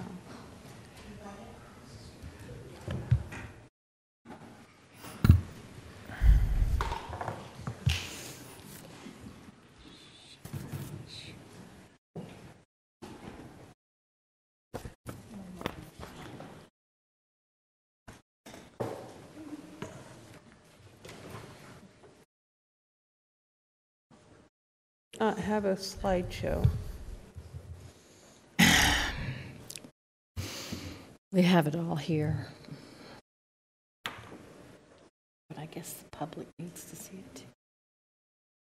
Oh, damn. Hold on, hold on.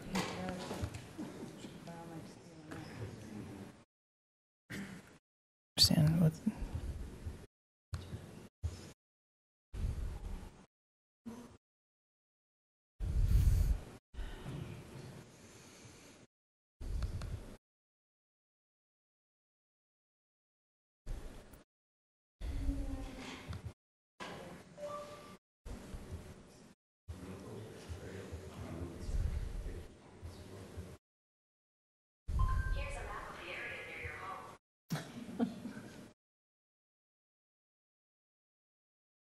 You.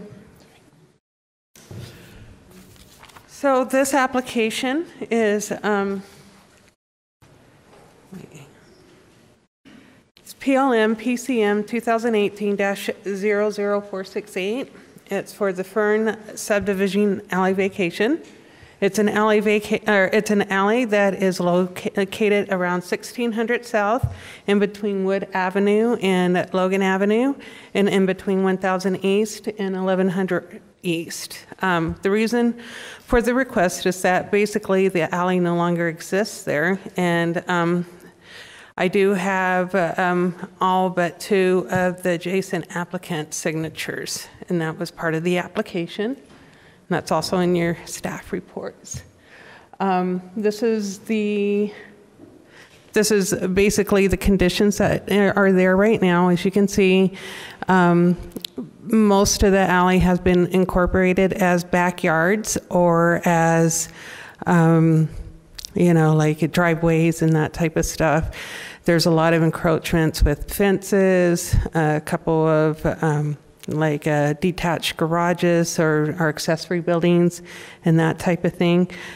So just to kind of clarify, that's where that alley's supposed to be right there. So it's in between 1019 East and 1053 East Logan.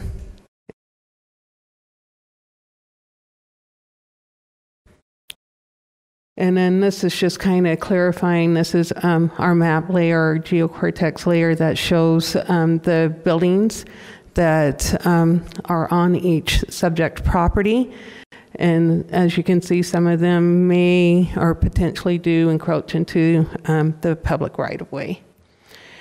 Um, this is also the original um, subdivision from 1906. And as you can see, it's all the addresses between 1019 East and 1053 East Logan Avenue. And um, and then uh, the addresses between 10, or I'm sorry, 1595 and 1615 South, 1000 East. Um, the northern, most northern western arm of that alley has already been vacated. That was vacated in uh, 2000, so it's no longer, it's not part of this um, alley vacate. So proceeding from there, um, this is the uh, applicant's driveway. Um, basically, her driveway is the west arm of the alley, and um, this portion of it would technically, the way we would subdivide it is that we um, the the uh, the alley goes. Um, it gets divided half and half with their neighbor on 1615, and then her, and then with her with 1019 East Logan Avenue. So, um, and uh, her portion of that arm is only the lower, uh, lower half of that alley or the southern half of that alley. The northern half of that alley is the neighbor's uh, backyard at 1095 and 1097. This is um, the alley in between 1053 and 1059 East Logan Avenue. Um, there's also a utility um, that goes through it, I guess a gas utility that goes through that that would need to be addressed either by easement or by having the neighbor at 1059 East Logan um, get some of that alleyway. Um, so that's another issue. There, this is going to need to be um, this is going to be need to be um, surveyed to figure out where exactly everything is, for sure. Um, whoops. And this is just basically showing that alley, the north arm of that alley, where you can just see it's just fences and um, possible accessory buildings and that type of stuff. So it's just not even there.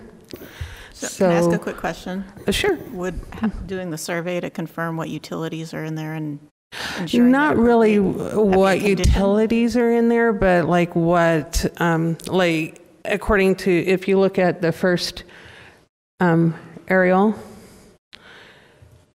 you can kind of see possible, um, the house at 1059 could potentially be in the alley itself. Um, and then there's Talking about there's yeah. a gas line. Yeah, and there's a gas line in So the is part of alley. a condition of the vacation to confirm the location of that gas line and to to ensure that there's an appropriate easement granted to the? Yes, Okay. correct. Uh huh. Also, who would be responsible for getting that survey done?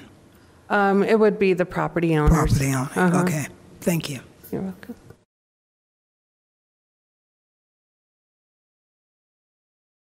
So we're going to um, our standards for alley vacates. Uh, that's lack of use, public safety, urban design, and community purpose. Um, we're going to base it on lack of use because there's basically no alley there. It could also um, meet some of the other requirements as well. So staff is recommending a positive, or is staff is recommends that the planning commission forwards a, po- a positive recommendation to the city council for the Fern subdivision alley vacation. So. Okay, any more questions for Anna? No? Is the applicant here? Do they want to speak? So state your name for the record and you'll have um, 10 minutes if you need it. I want. I don't think I'll need it. My name's Kathleen Bratcher. I live at 1019 East Logan Avenue. We are asking to vacate this alley um, um, because we would like to replace our fence. We would like to put in a proper driveway, and um, and um, and that's pretty much it. I know it seems like this has been really complex, and ours is so easy. So I have nothing else to add. Oh, don't worry, we can make it uh, uh, complex. that's okay. Are there any questions Yeah, for I the do. applicant? I do because Okay. we're masters at making it complex. So, in one of your letters to Anna, you had mentioned that you know surveying the rest of the alley was cost prohibited, and because one of your neighbors was concerned about maybe having to move their garage. Um, so, I'm generally opposed to alley vacations, but you know, you're not responsible for encroachments onto public way when you inherit them. Um, I'm wondering then, how are you? Because so there's the rule of the subdivision. So this alley vacation, the, what's behind would go to just those houses that are designated the Fern subdivision, and your house is not in that subdivision, correct? No, that that's incorrect. Our house is uh, the western part of the Fern subdivision.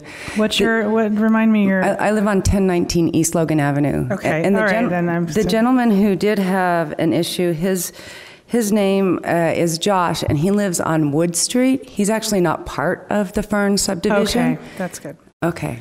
That's very helpful. So, in in vacating this alley, those who fall within the Fern subdivision would be responsible for doing a survey to then identify the appropriate. Well, each New each property line? landowner is responsible to find out whether or not they have encroachments in the alleyway or on anybody else's property. Well, That's then just how, kind of- how does the city handle um, selling this to the the property owner if you don't? Uh, So what we would do is give that, um, basically, our rights to the property owners who are in the Fern subdivision, because that's how um, past law has, has um, handled these It was always so. my understanding that when we do an alley vacation, we're actually selling that land to the property owner. Is that not correct It's, now? it's a little bit uh, complicated and the council has adopted uh, policies with respect to alley vacations. If the alley is adjacent to residential property, then um, they do not require payment. If it's adjacent to non-residential, they do. Al- Although we will be responsible for, for paying property tax on that, so that's something that um, will be incurred by the property owners. So yeah, this is nothing on you, Kathleen. This is an education too, as things change from one thing to another. So if they don't do a survey, if the property owner doesn't do a survey, then how does the how does it get recorded? So they my know? understanding is that the city uh, real estate office just does a quick claim deed. Um, and that gets recorded with the ordinance vacating. So like the whole that whole public alleyway would then revert to the Fern subdivision and nothing with the Wood Avenue. Correct. And so if they wanted, if they felt like someone on Wood Avenue was encroaching into where they would Then after, alley after the city is now theirs. right after the city quit claims their interest in that portion, then the adjacent property owners could do their own Do on their own. Got uh, it. Okay. Thank you. adjustments. Thanks. Anyone else have questions? No? So um, we'll have you guys step back and we'll open the public hearing on this item. Okay. Okay. Okay, we'll open the public hearing. Is there anyone here who wants to speak on this item? Come up to the table, state your name into the microphone, and you'll have two minutes. Alan Bloom, uh, 1053 Logan. When I moved into my home, I wasn't aware there was an alley there. In fact, I had a garage built on the area that is part of the alley, and I came to the planning and zoning and got a permit to do so. And they didn't even look at it. I was never told alley existed until uh, maybe 10 years back. And by then it was too late. There was already a building there. So, uh, looking at spilt milk now, you basically really have to give it back to the property owners the way it is. Tax them or whatever you're going to do, but it, it doesn't exist anymore. So that's my feeling on it. That's all. Okay, thank you. Is there anyone else who wishes to speak on this? Seeing no one, I will close the public hearing, bring it back up to the Planning Commission. Um, Any discussion? Do you need staff again? Somebody make a motion? I'll make a motion. Based on the findings and analysis in the staff report, testimony, and discussion at the public hearing, I move that the Planning Commission transmit a positive recommendation to the City Council for the Fern subdivision alley vacation file PLN PCM 2018-00468 for the reasons listed in the staff report. A second. Brenda seconds. Any discussion? Okay, let's vote. Matt? Yes. Amy? Yes. Weston? Yes. Carolyn? Agree. Brenda? Yes. Adrian? Yes. Thank you. The motion passes. So you still, you still have to go to the city council? Okay.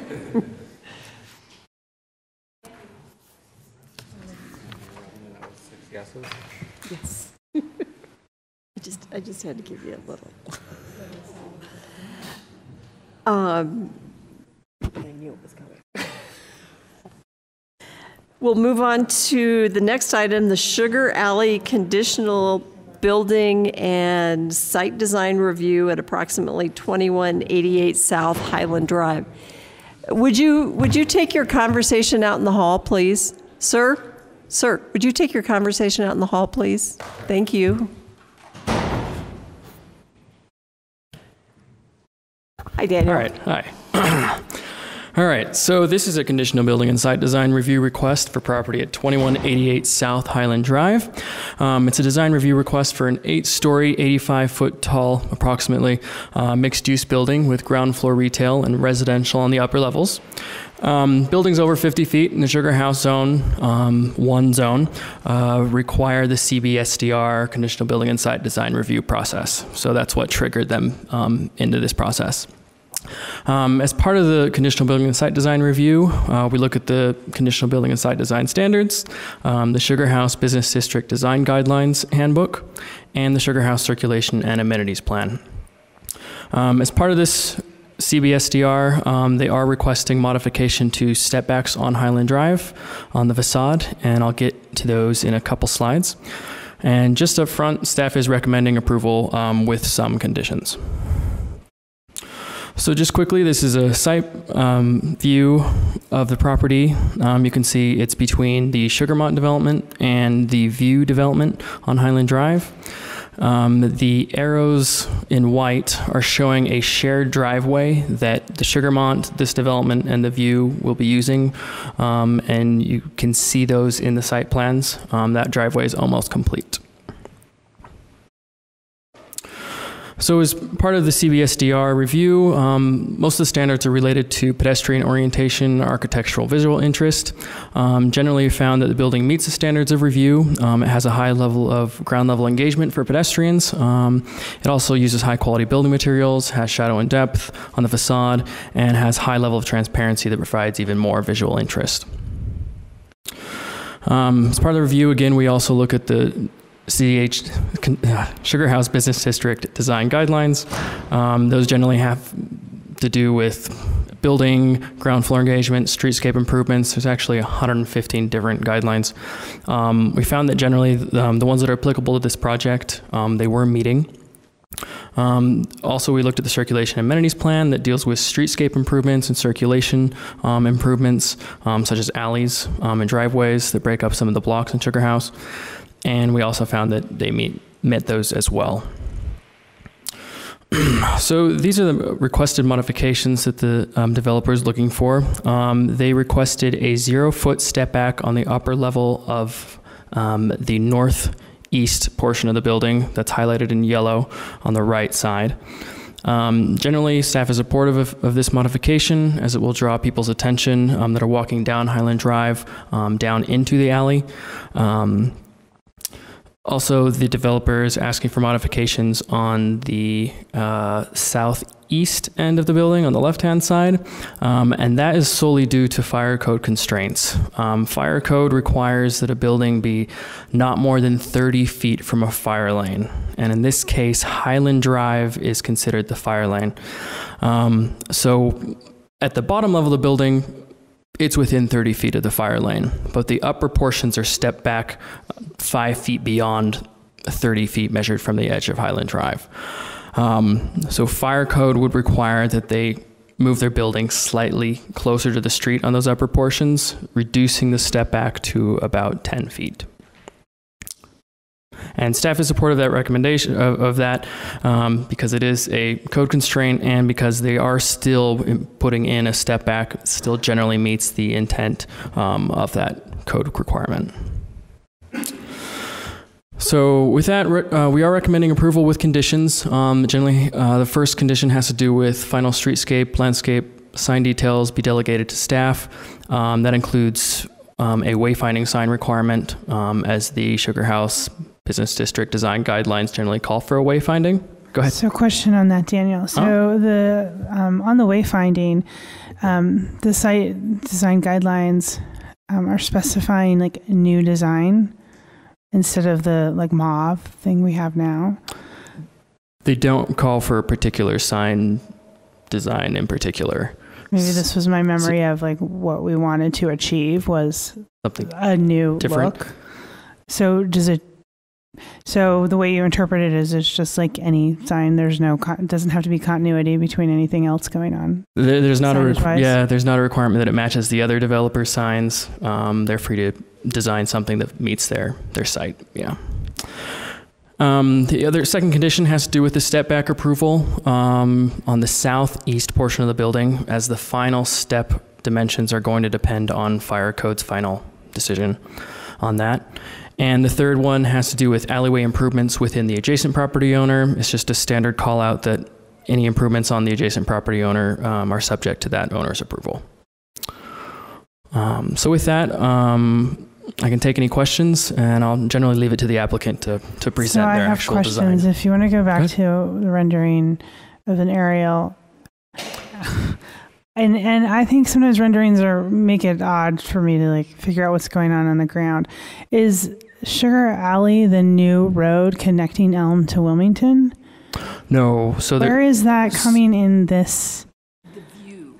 so you can see the shared driveway is I know. out So on I want to know where is where is the new road that's being built that's connecting Wilmington? That is the shared driveway that's called out with the on the arrow on the, the on the left side, the very south end of the. That's not Sugarmont. No, it's not. It's They're a. fitting all of that. in between. I think the developer has a, a better site plan in their PowerPoint that they can they can go over that with you.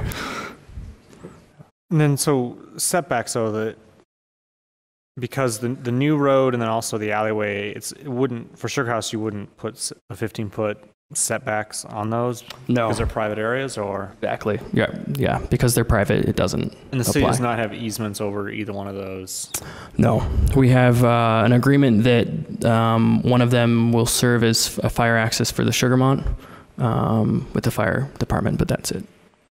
Because originally we, and I think, I mean, the site has changed since I think the first time was that hospital idea, and then the other Right. people were like, "Hey, I'll take you," and they moved him up. Um, but originally the idea was to have like the street kind of flow through and then flow through that kind of arcway on that building. Do you feel like this site plan still is accomplishing that goal that they were we were doing when we were here last time? Yes, and it actually completely reflects what was approved under that prior approval. And in fact, that driveway is about finished, um, as, as well as the plaza space and landscaping that was a part of that.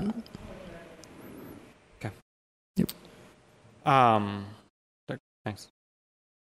Any more questions for Yeah, Daniel? Actually, I do. So you're calling that a driveway, which I call it a road, reconnecting Elm and Wilmington. And um, refresh my memory, because it's private, um, but yet it's going to be open to the public. Is there an easement that's being recorded on there, or has been, or will be, or can they just shut that down if they feel like it? The two property owners, if they work together. They, they could shut it down, but well, technically they can't shut it down because it is required for fire access. It has to be open for any fire truck to come in, into an, in a, during an emergency. So they couldn't shut that driveway down. And what's the what's the process if you're doing a private road that it I mean, is is there a legal process and that it becomes like a public road but privately done? Or are those always considered driveways?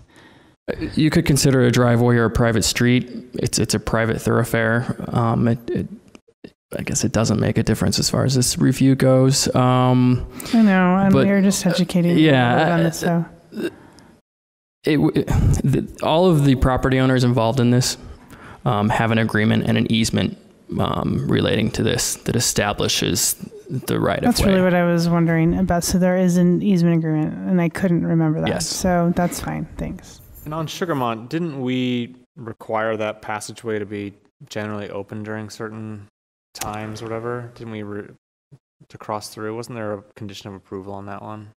I can't remember if there was. I'm, I'm sorry. I was positive there was, but we've also had other similar projects.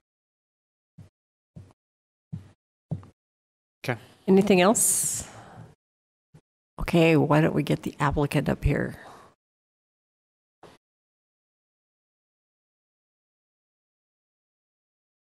Gentlemen, be sure to introduce yourselves for the record, and you'll have 10 minutes, but I'm sure there'll be questions afterwards. Uh, Daniel, thank you for your time and for uh, working through this project with us. Um, obviously, it's a, a good sized project in uh, the heart of Sugar House. Um, so we're excited to be here uh, talking to everybody about this. Um, but just by way of introduction, my name is Ben Lowe with Lowe Property Group. Uh, and Lowe Property Group, uh, in combination with Eight Bay Advisors, are the uh, the developers of, of the site. I'll let you guys introduce yourselves. I'm Alex Lowe with uh, Lowe Property Group. Uh, Peter Burr with MVE and Partners with Architect. Uh, so we'll be quick. Um, in fact, I'll scoot over here so I can uh, click. Uh, but we spent a lot of time with the community council and have really appreciated their input on this on this site. We've been through literally every one of the Sugar House uh, design guidelines and have really worked hard to incorporate those. And we're really excited about where we've ended up um, on this uh, on this particular project. Um, as you know, and and I'll, I'll, talk a little about the road and I think answer some of the questions you have here as, I- as I move through quickly. Um, but we're uh, we're uh, excited about a lot of the things that really I think fit what Sugar House is looking for and what design guidelines are asking for. So just you know, high level, um, we're uh, looking at 17,000 over 17,000 square feet of, of retail space uh, on this building, um, and 186 uh, apartment units, uh, total of eight stories uh, on the building. Um, going to kind of move through quickly. So we wanted to highlight a few things that really I think the Sugar House guidelines call for. One of them is related to connectivity. Um, so uh, how we're connecting different spaces in the community. Uh, we think this site is an important site for the connectivity in Sugar House because we've got the S line in Fairmont Park to the west, and in fact uh, at Sugarmont there was a requirement that there be basically a gap in their building to to provide access to that. Uh, we felt like what we were doing here was important to provide that same connectivity so you could get out Highland Drive and, and go east. So you see the areas in yellow, and these are all um, spaces that create this connectivity. Obviously, on the bottom, you have the the roadway that that will be open to the public. We have the drives into the building. Uh, you know, through there's there's a number of drives off of that road that into our building as well as into Sugarmont's building. So it needs to be open for residents to even get into their uh, uh, into the garage. And, and as was mentioned, we have easements with the other adjacent property owner, so we, we can't close that. Um, so that's obviously one passage of, of uh, where people can come, and there's a sidewalk along there. But I think on the other side, we're even more excited about uh, Sugar Alley, uh, which we're calling it right now. There's a, a, a road that's kind of falling apart uh, running up that, and so we've proposed to close that off and make it a true pedestrian retail type of street. Right now, the View, our neighboring partner, has retail all along its building that's struggling quite a bit because it's set back off of Highland Drive. We think if we match the retail on the other side and put pavers down it and make it a, a, a world class experience, um, it's going to make it a, a, spot that can draw. And along with that, it provides connectivity. And the city has a, a hawk light planned. Uh, basically, to cross the street to the Whole Foods that would, would would match up with this alley, so it kind of fits perfectly with kind of the pedestrian access. So I want to interrupt you while we're in that space. Um, how is somebody going to access from the new driveway coming from McClelland to the underground parking of the view that's located like right adjacent to the Paw by Paw uh, dog store? So they have the underground. So they have like their their connection to the Paseo, which somebody almost ran me over the other day as I was walking my dog, um, and then realized it wasn't a through street and Yeah. backed all the way out. But there is that underground parking access via that um, Sugar Alley. How are they going? How are you directing to maintain that access into their views underground parking at that juncture? If you see where the arrow is that says McClelland Street, right above No. that is the access. Oh, that area. Yeah, on the yeah on the kind of top left, um, there's that the big arrow. Right, that's the one I'm talking about. So that's about. the access. So that is still that is on the road that we have now built. So it, it has direct access to the road. So now you'll just you'll now you'll come down Wilmington. If you're coming from Highland, you'll come down Wilmington, turn right, and you can go in there. But that road also connects out to McClelland Street, so you can just come into McClelland Street the same way you do right now. So are you going to be um, connecting to the, which is now just like regular concrete? So we got the road that's falling apart, and you're going to take that out. Are you going to be working with the owner of the view to make that whole area something a different material? That's like this is you know for pedestrians because Yes, that's our intent. Um, we've gotten verbal confirmation from the neighbor that they want to do this, so they're excited about it. We flew out and met with them, and uh, they're excited about it. Obviously, until they sign the dotted line, um, you know, and we're we're doing it. We don't know for sure, but that's that's our plan and what we're what we're planning. And okay, thanks. yeah. Um, anyway, on the west side also of that street, we also have plaza area on the on the west side up next to um, Sugarmont's property. There's a, a 20 foot wide plaza along there that we just want to highlight. Um, uh, so here's just a couple of shots of what we intend that alley to look like. Um, so this gives a little bit of feel. These are uh, renderings based on the construction drawings. So we think we really have the opportunity to create a, a world-class pedestrian street and, and access. Um, I'm going to kind of keep moving through here because I know uh, time is tight. Uh, one of the focal points of this project uh, is on Highland Drive. We're creating a, a glass atrium. Um, in the uh, Sugar House uh, community guideline, design guidelines, um, it, it, it calls for creating plaza space uh, by shaping the surrounding buildings to the social space. And that's often done with kind of open uh, outdoor plazas, which we have a lot of. But we're also creating what we think is a very special space in a glass atrium uh, that where we can plant trees inside and those grow and are green year round. And we have sunlight coming in. We have retailers planned on each side of the atrium, so those retailers can spill in. And it's intended to be open to the public during the business hours of the retailers, so the whole community can come enjoy it. And it becomes a plaza space that actually is uh, warm and inviting year round instead of for just a few months of the year. Um, so we're really excited about uh, about that particular feature. Um, obviously, we've talked about the retail. Uh, we have over 17,000 square feet of retail. Um, obviously, all along Highland Drive, it's it's either retail or the atrium that's open to the public, um, or along uh, Sugar Alley, we also have uh, have retail, um, and so we're we're excited about that retail space. Um, and there's outdoor seating along all of that retail as well. How much square footage is along Sugar Alley? How, Of retail, you said. Oh, of the retail, how much of it is along Sugar Alley? Oh, God, it's probably about half, Peter. It's about six and change um, along. Overall, I think we're about 17. Yeah. Yeah. It's like 6,500. 6,500. Oh, Yeah. that's, that's about, okay. So I have a question about that setback on um, the Sugar Alley section. Does does the ordinance um, is the setback requirement only for the Highland Drive and not for anything along Sugar Alley? So you're just asking for relief from that Highland Drive, and then there's nothing that says you need a setback along Sugar Alley. Correct. Okay. Yes. Right. Um, and as I jump to the next slide, um, I mean, I'll let Peter, Todd, Peter was nice enough to fly into town uh, for, for this. Uh, and Peter was the, I guess, the mastermind, the architect behind all this. But I'll let him speak on the design. Yeah, I think overall, you know, just being in Sugar House, it's obviously this draw towards brick architecture. So what we try to do here is introduce brick architecture that really speaks to some of the traditional components of what brick is, and then also speak to some of the modern components of what brick can do. So we're we're shying away from going just to your pure pure red brick approach, but uh, you know, introducing full dimensional brick on the first two levels close to the pedestrian, so you can get really rich detailing in that pedestrian and retail experience. And then as you move up the building, going to a lighter, more white brick um, kind of mixture that uh, is more of a thin brick application, but um, just keeps the building lighter and and um, and more contemporary up above. But uh, I think one of the exciting things about this project is just, yes, we are activating the ground floor with retail, but we're doing it in several different fashions. Um, Sugar Alley is going to have a really special kind of moment, like um, Amy, you were mentioning. We will be doing enhanced pavers in there is kind of the intent, and really playing that up as what was initially looked at as almost kind of a B side to the building. It really becomes a feature all of a sudden when we treat it that way. Um, and then, uh, like Ben mentioned, the atrium as well, just being an additional unique component um, to really create that activation at the ground level. So it looks like you're going to have retail on three sides the driveway, Highland, and Sugar Alley. Is that correct? No, the retail is on two sides, always- Highland and Sugar Alley. Okay, because renderings can always like make you feel like you're look, seeing something you're not. so I wanted to just. So you're not going to have. You'll just have retail on those two two sides. Yes. Okay. Yep. Yep. How, Um, how wide is Sugar Alley? Is it 31 feet? Is that what the? Yes, it's about 30 feet, a little over 30 feet.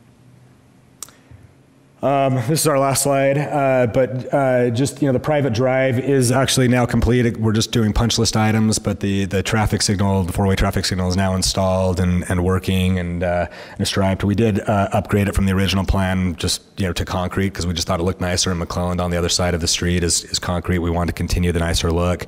Uh, we also did the enhanced crosswalk pavers that you can't see in the pictures here, but um, crossing the alley. So we, we you know, I think it, it's just speaking to kind of the direction we're planning to take this whole project of a very high-end uh, community. Um, the one other thing I wanted to point out that's not in these slides is just on the request on the relief on the setback on the uh, I, I guess northeast corner where the where Sugar Alley intersects with Highland Drive. You'll see there, you can see there's a, a plaza area where we're not setting back the building up above. And the reason is, is because we decided to do a ground level plaza there. So while we have the atrium as an indoor public space, we have a, a large plaza on the corner of the building on Highland Drive and Sugar Alley that kind of welcomes people into Sugar Alley. Uh, and it's actually a covered plaza. So what we've done is we've lifted kind of the, the bottom floor of the building up. And so it's covered. So if it's raining, people can be sitting out on that deck there. And originally we had the setback above and the plaza. And it was this like wimpy little piece that stuck out in the middle and it was really strange. So rather than setting back up above, we set back down below where the public can use it. And that was really the intent of, uh, of that change. One other comment. Um, the question came up earlier about wayfinding signage um, and having some consistency within the, the, the neighborhood. Um, we've been working with the community council um, on the wayfinding signs and actually proposed sort of some standards of what we could potentially do and, and have reached out to some of the local developers, including those of the Shopko site, and sent those to them. And so our hope is um, that we would go and, and start implementing that. And we'd love to have something that's actually codified that can be consistent within the, the, the uh, Sugar House I would just district. suggest get away from the mauve. Yeah, I, I, I think you'll see that's that's definitely uh, we concur. Maybe Daniel could help us uh, codify a, a standard, you know. Um, so I just have some comments and, and some like logistical questions. Um, one, I think the ground uh, level of this is infinitely better than any of the other two iterations that came before. So kudos to that. It does look so much better. Um, one of the other architectural or just like amenity things that that seem to define the business, especially the old business district in Sugar House, are the use of those awnings. And so to and you have them on looks like Sugar Alley, you have them in the rendering, and I would just really encourage you to um, to incorporate that because it's not only brick. The awnings are you'll see those if you go on the north side of 21st South. You'll still see all the old awnings. Um, and some of them have been replaced, some of them haven't.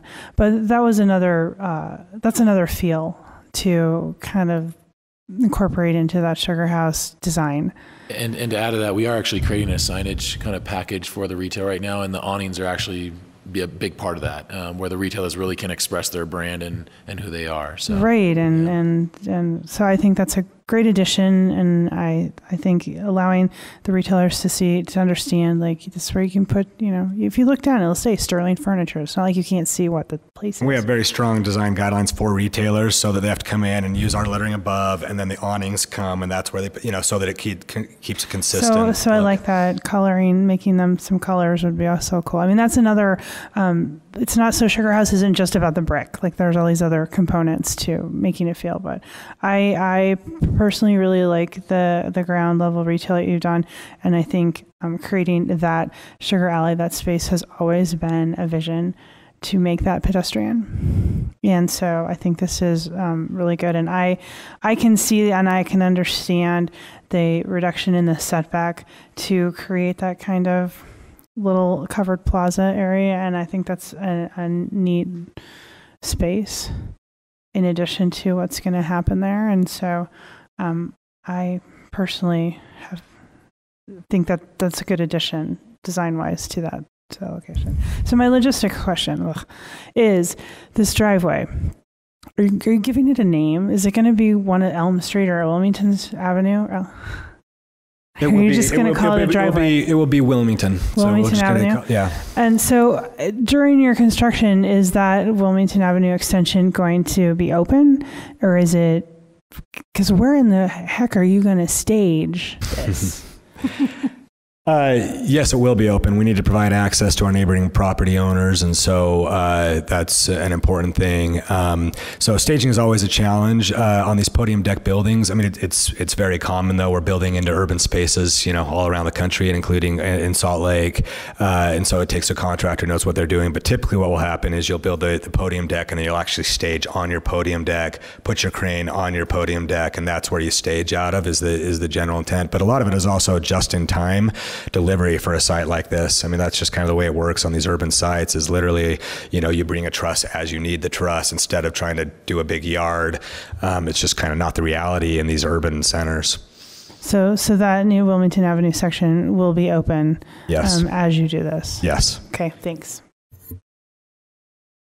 Forgive me if this question has already been addressed, but, and I wasn't on the commission when the, your neighboring partner to the south and west was built or approved, but you talked about the, the walkway, the pedestrian way where the, the building is parted for people to walk over to the S line um, to incorporate all that.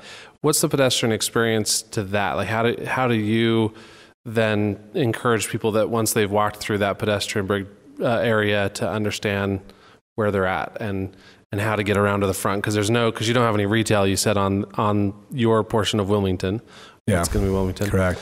Um, so what do they just come to a blank wall is there an entrance into the apartments what what's over on that side Uh, yeah, so no, that's a good question. Um, so if you're looking at, at you know just this uh, this slide, for example, so there's a plaza area on the um, west side. So you see where the road curves around, it starts to head north. There's about a 20 foot you know plaza there, and that's the pedestrian experience. So basically, what happens is you come down Sugar Alley. We'll have a crosswalk from Sugar Alley to the plaza, and then you walk down the plaza to the opening um, between their building. Um, so the plaza's on the not on your property but on the other the other side of the street is that what that It's on our, that is our property. Our, their, their building comes right to our property. So we built the plaza.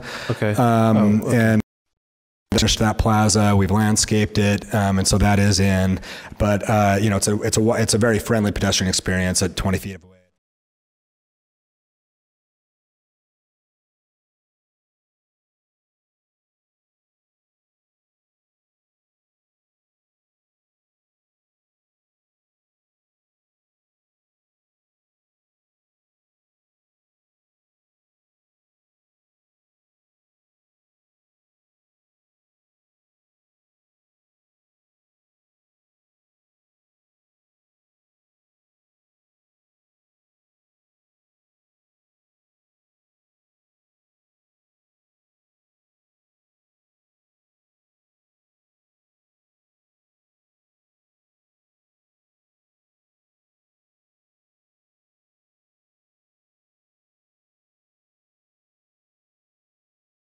And I have to give these guys kudos because they've been working with us for probably a year, maybe a year and a half, talking about their various designs, reviewing what had previously been approved, that sort of thing. And as they made changes, they talked to Landon or myself, or they came to the land use committee. They've been to the community council several times. And I think everybody's very comfortable that this is going to be a really good addition to the heart of Sugar House. As you come down Highland and the street curves, you're going to see that the wall that starts Sugar Alley.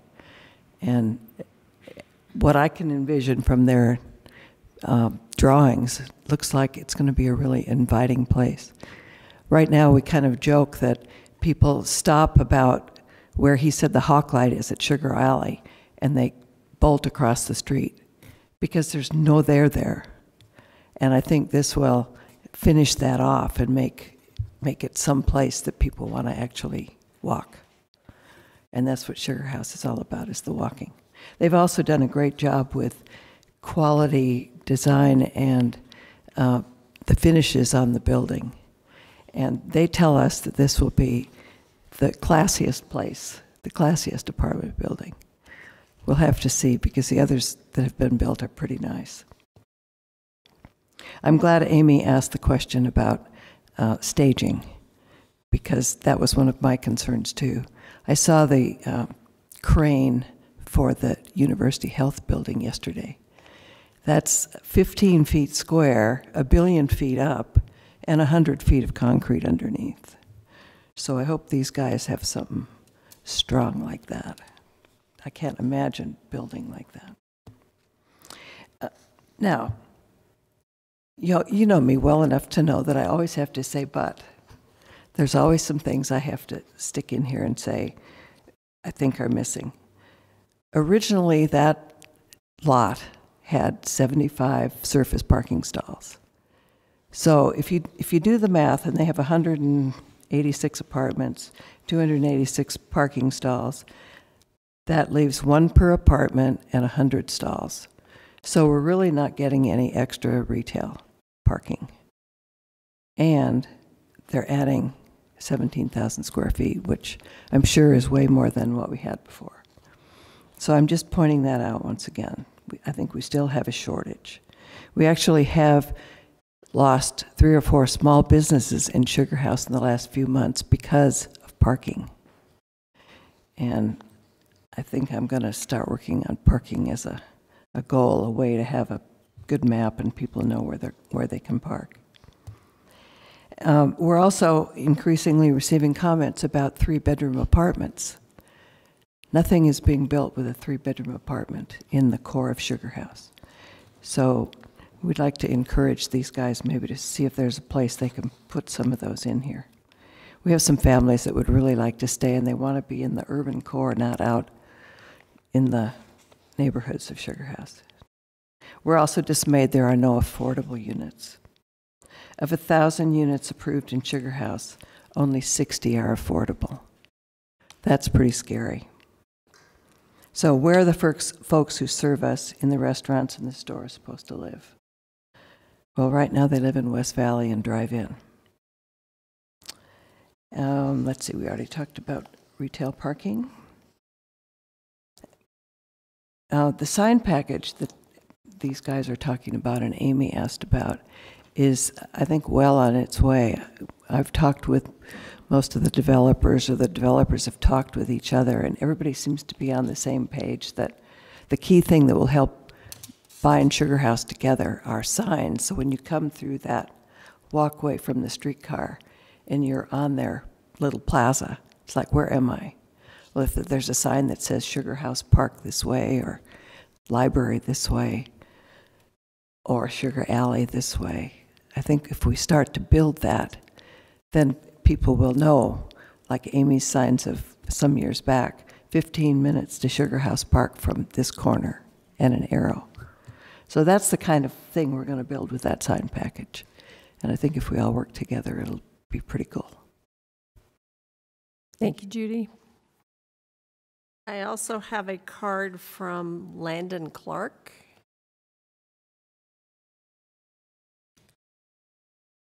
Come up and state your name for the record, and- and you have two minutes.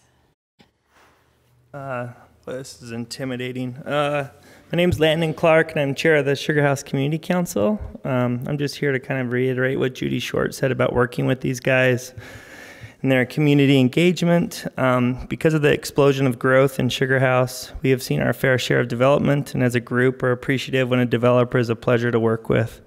Uh, these guys reached out early in the process with Judy and me.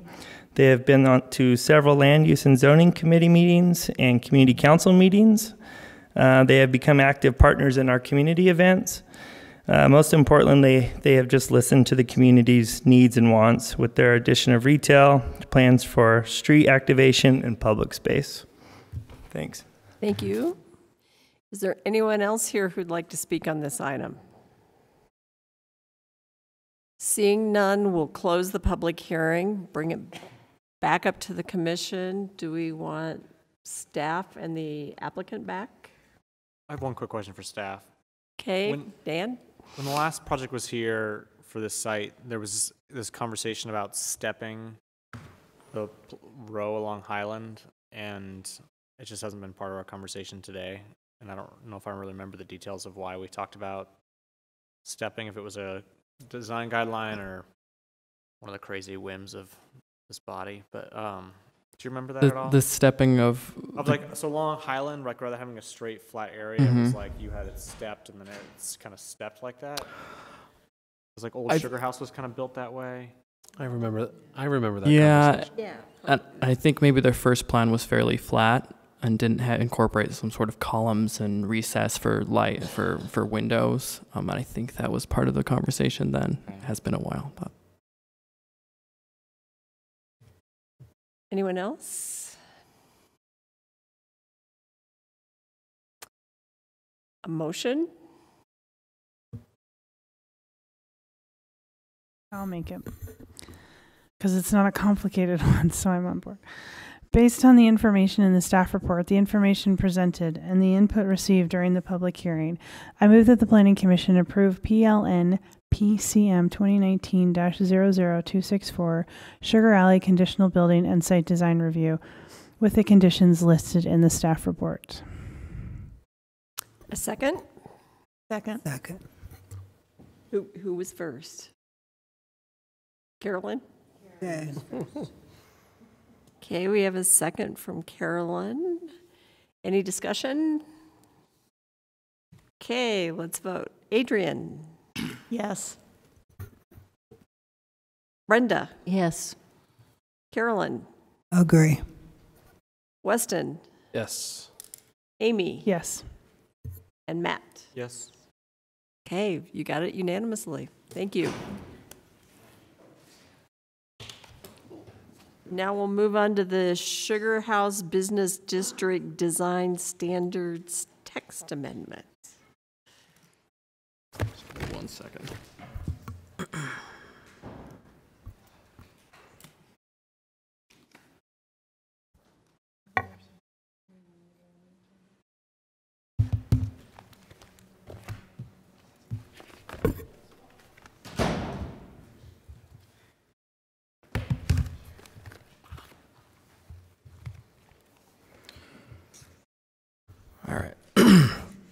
So this is a city-initiated petition um, for changes to the Sugar House Business District zone. Um, this zone includes the Sugar House Business District 1 zone and the Sugar House Business District 2 zone. Um, the primary goals of this are to add additional design standards for these zones and to add additional streetscape standards. And additionally, to um, impose an additional ground floor use restriction on dwelling units facing 1100 East and 21st South. Um, the intent of this uh, proposal is to bridge the regulation gap between large and small developments. Um, small developments aren't subject to the conditional building and site design review process, um, for example, with the project that you just last saw. Um, so there's very few design standards and zoning standards for those projects. Um, additionally, uh, the, pur- the purpose of this was to put requirements up front in the code so developers know um, what the standards are going to be. Um, and just up front again, staff does recommend um, that you forward a positive recommendation for the, um, this proposal. Dan, So- yep. Can you make sure you're Oh, I'm sorry. Let's that up. Thank you. Oh, now we're behind.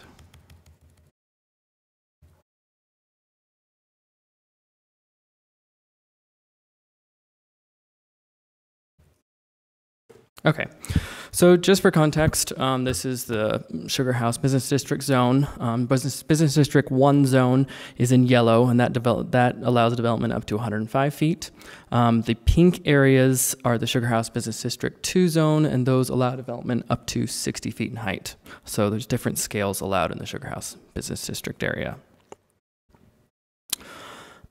so part of the issue um, that brought this uh, petition forward is that small scale developments that are under the thresholds established in the Sugar House Business District zone for conditional building and site design have very few standards that they need to comply with. Um, a developer can just come in and get a essentially um, do 40% glass, include one entry on their street facing facade, and um, get a building permit. So there's very few sta- design standards um, that they'd have to comply with. Whereas with a large scale development, um, they have to go through the whole conditional building site design review process um, with all of its standards. Um, they also have to comply with the design guidelines that are um, the Sugar House Master Plan, um, including the circulation and amenities and streetscape amenities plan, and they have to comply with any design with design standards, which would essentially right now just be 40% glass and an entrance on the facade, street facing facade. Scales determined by footprint or by height or by. It is by height and also by square footage. So any building in Sugar House that's over 20,000 square feet in area has to go through this process. They're a large scale. Yeah. Um, and then for the Sugar House Business District 2 zone, um, anything over uh, 30 feet in height has to go through the process, re- regardless of size. Yeah, so it's kind of a combination of two. And then in Sugar House Business District 1 zone, anything over 50 feet in height. Essentially, the square footage ends up triggering the process either way. Um, so part of the point of this proposal is to take those guidelines that are objective in the business district guidelines handbook or subjective standards that could may, be made into somewhat objective standards and put those into the city zoning code as design standards. so the additional design standards that we'd be proposing um, are similar to what's called for in the TSA zones and what is, is currently proposed for the D2 downtown zone.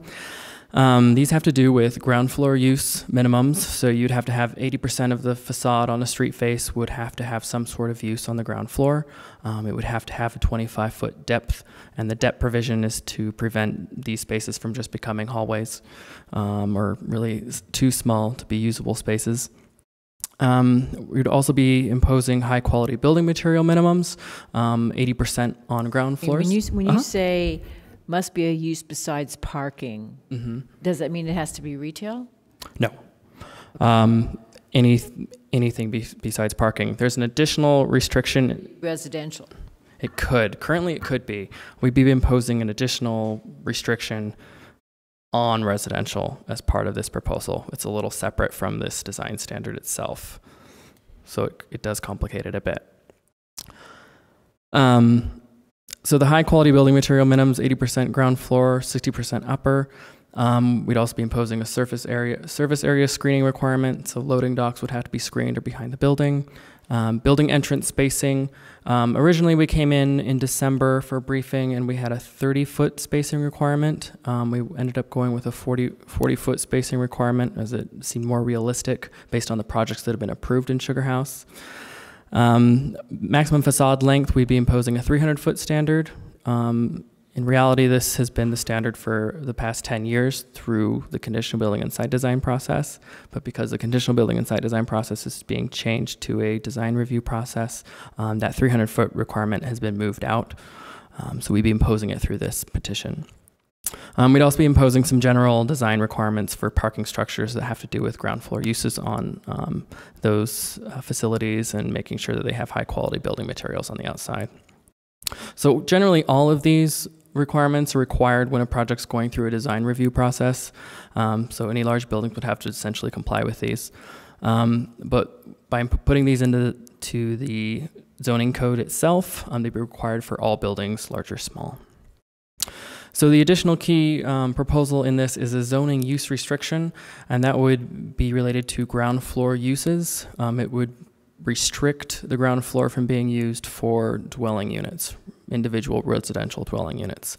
Um, there is a qualifier that live work units would be allowed because they would have a work portion on the ground floor that would help to activate um, the street frontage. Um, but it would it prohibit just strictly a residential dwelling unit from being on 1100 East Highland Drive or 21st South. How many are currently? Do, do you know? Residential, and I Ground think there's only uh, one, um, a recent development. on- yeah, there's one recent development. There's one recent development along 2100 South that is Yes. residential on the bottom floor. Yes. And there's been no other, there's been no other developments on 2100 South. with residential on the ground floor. The one on 10th East. Urbana. Yeah. No, even Urbana has retail on the main floor. So the other component of this are the streetscape standards. Um, so any development would have to install sugar house style street lighting. Um, they'd have to install wider sidewalks. Um, the requirement would be a minimum of six feet in the Sugar House Business District 2 zone, which is the lower intensity zone, and eight feet in the higher intensity zone. Um, and since the December meeting, we did um, put in some uh, provisions to allow some modifications by the planning director um, if it ultimately complies with the Sugar House circulation um, plan. We're also um, imposing a requirement for uh, brick or pavers to make up 10% of sidewalks. Um, this was brought up by the Sugar House Community Council, and it actually is called for in the circulation plan that the sidewalks have that at least between 5 to 15% um, brick incorporated into the sidewalks. Um, you've seen that um, in the plaza spaces and some of the other areas of, of uh, Sugar House um, with a brick pattern incorporated into the sidewalks.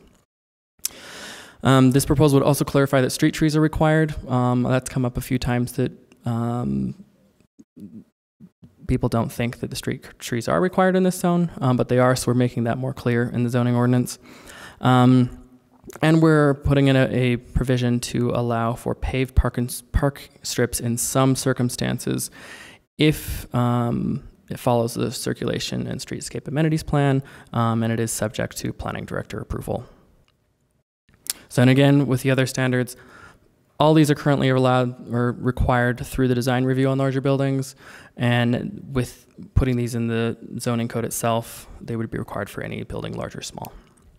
Um, Question, Go ahead. if you have a smaller building and it's like one building in the middle of a block, the rest of the block's not been redeveloped, that building has to build out the sidewalk to this standard, whereas the rest of the block will stay as is. Yes. Yep, it's incremental, and that's kind of how it works right now. Um, unless the city has a another special improvement district where we're putting in the sidewalks ourselves, we get wider sidewalks with new development. Right, but the new development usually is a continuous, it's a large area where it's going to control for a large building. So I just, There is a potential, yeah, that you would have a, a small segment six feet or eight feet, and then the rest five feet. Yeah, the minimum standard for any development is in a commercial district is six feet, so it's kind of a base standard. If someone's cutting into the park strips, they would have to end up putting back um, a six foot sidewalk. That would be just required through engineering and wouldn't be required through zoning. Um, but the eight foot requirement would be different. So outside of like Wasatch uh, pub on the on, on Highland Drive, is that a, how wide is that sidewalk? Six feet, feet. It feels front narrow. of- I only know that because I was there with my kids. I was like, it was really narrow. On the corner of 21st and sorry, on the yeah, yeah, on Wasatch Pub, like on Highland, their doors you enter right there at the view. I think it's eight Is that- plus. Is that still eight feet right? Yeah, yeah, and you have the additional um, paving with the um, tree grates as well. So that adds three or four feet as well.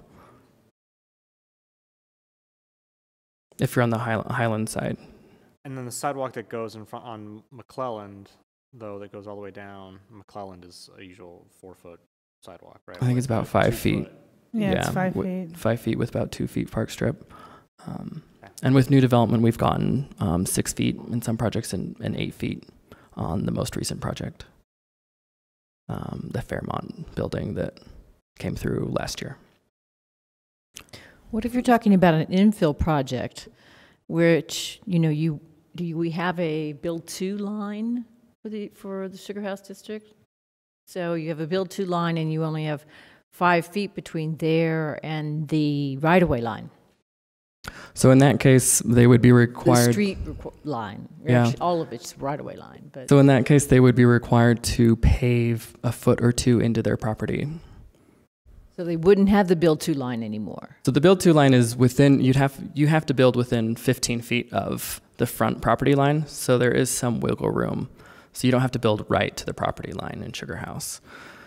So they would they could shift it back a foot or two. And leave a, a four, 30-foot stretch of property with one foot wider sidewalk? Yeah, you could. One other component of this is the sign, st- sign standards modifications. Um, we are proposing an increase in the size limit, height limit uh, for eye level wayfinding signs.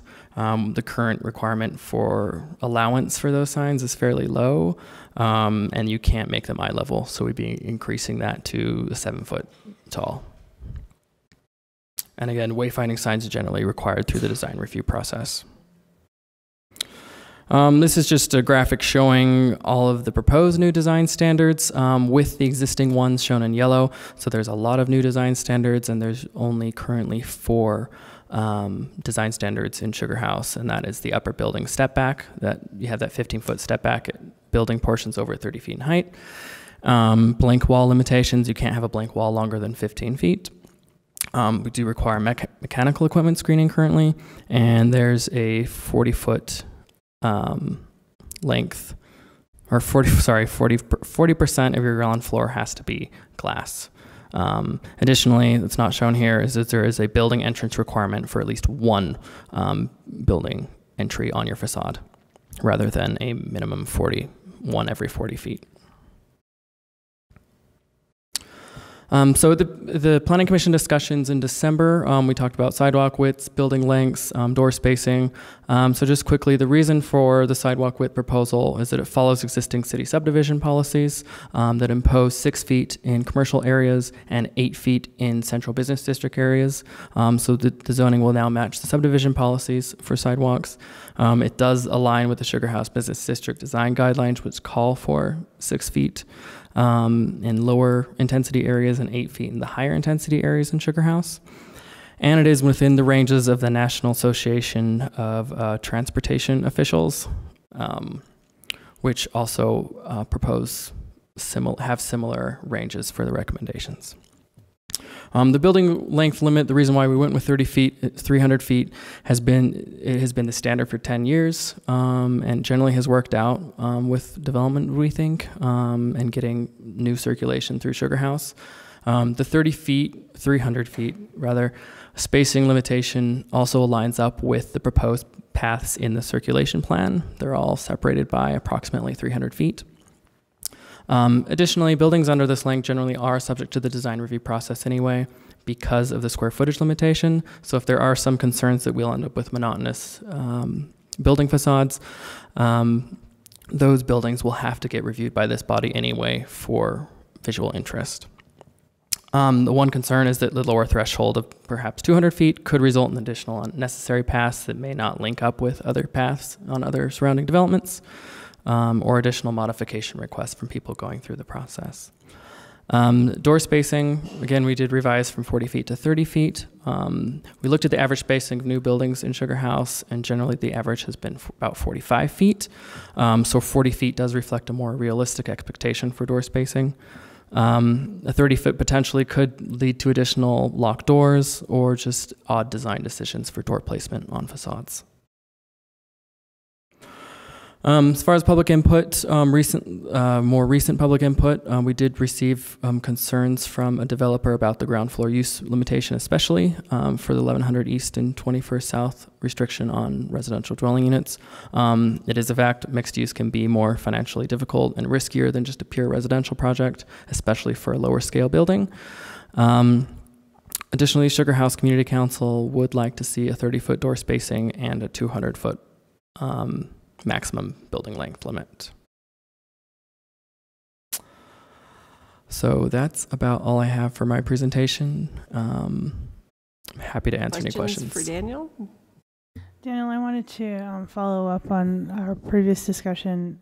And did you look at um, putting some sort of qualifier for that 40% glass that it not be above five, that it not start above five feet? So y- yes, there is an existing qualifier that says that 40% has to be within three the three foot height level and eight foot height level. So it's at a person's eye So, level. so then the the Walgreens that started it at five feet, did that come? Does would that comply now? That no, I th- I think. Oh, you're you're saying okay. I see. What, I see what you're being what you're saying now. Potentially, I suppose they could do that. No, I, I yeah, we have not looked at a qualifier to make sure that they don't start it at five at the five foot level rather than down below. I don't think we've ever seen that except maybe on that project if that's what they did. CVS wanted to do that too, and we, Yeah.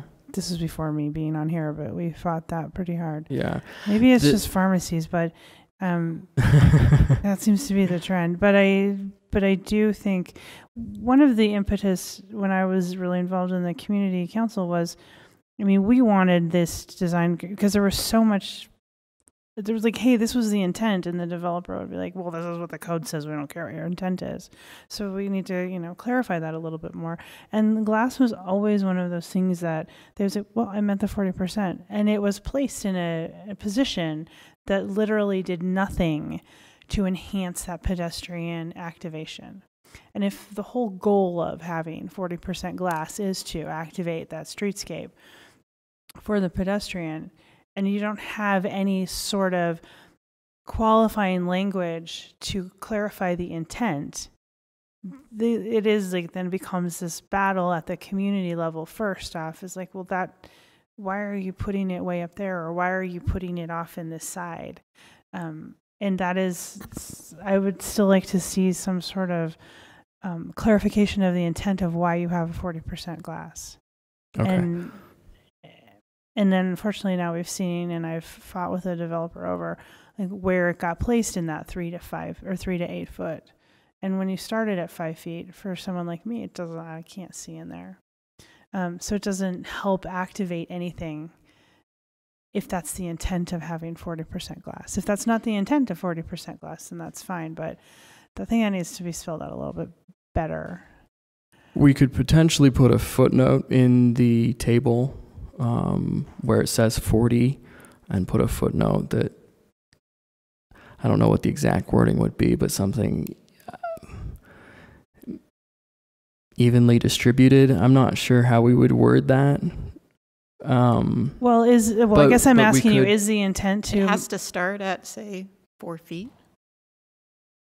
I mean, yeah, it could you're right. be It can't, between it can't and eight, start. it can't be any- It can't start above four feet. So it needs to be placed between three to eight feet, but it can't start above four. Actually, most store windows are like six inches to two feet. Well, you would think ground. that, but come to Sugar House and you will see that's not how. But I mean, you, yeah. if you say you must start at three feet, then that's no, but that that's would what it wrong, currently says now. It's between three to eight feet, right?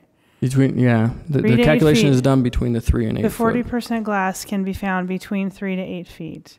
But if there's some sort of qualifier that says like you can't start your glass above four foot, I don't know. It is the intent. Let me ask you: Is the intent to activate pedestrian um, experience to do the forty percent glass, or am I off base there? No, it it completely is.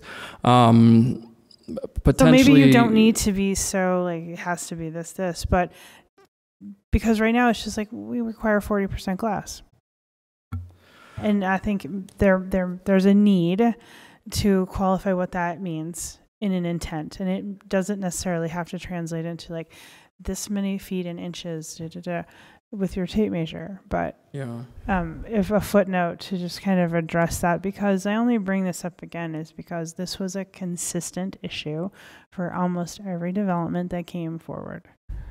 Gotcha.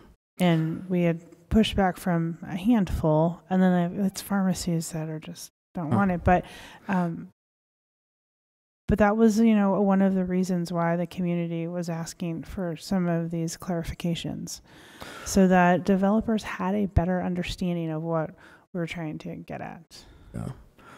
One one way to potentially resolve that would be to just simply increase the percentage requirement. Um, by doing that, you'd likely get glass would essentially have to come lower than three feet from the eight foot and, and start to get lower. But it, it's so it's if- hard to. Yeah, I, th- I don't know if that's the if that's the answer. So if a developer came and they wanted less than that for various reasons, um, they could then get that approved via a conditional use or They could go through a design review process. I but don't I don't know that it needs to be increased. I think you just need to add some clarifying language that spells out what the intent of having 40% glass means. So that then if a developer is like, well, I'm just going to start it up here, you're like, well, that's not meeting the intent of activating the pedestrian experience. If Yeah. most pedestrians who are not as tall as Weston can't see it, then you have not achieved the intent. Yeah. So, So- to keep it so- simple, but Maybe you can add that to your recommendation. Yeah. Good. And anyone else? Can you point out some of the areas where the 300 foot length like doesn't work? And I'm sorry if you did this on the tour.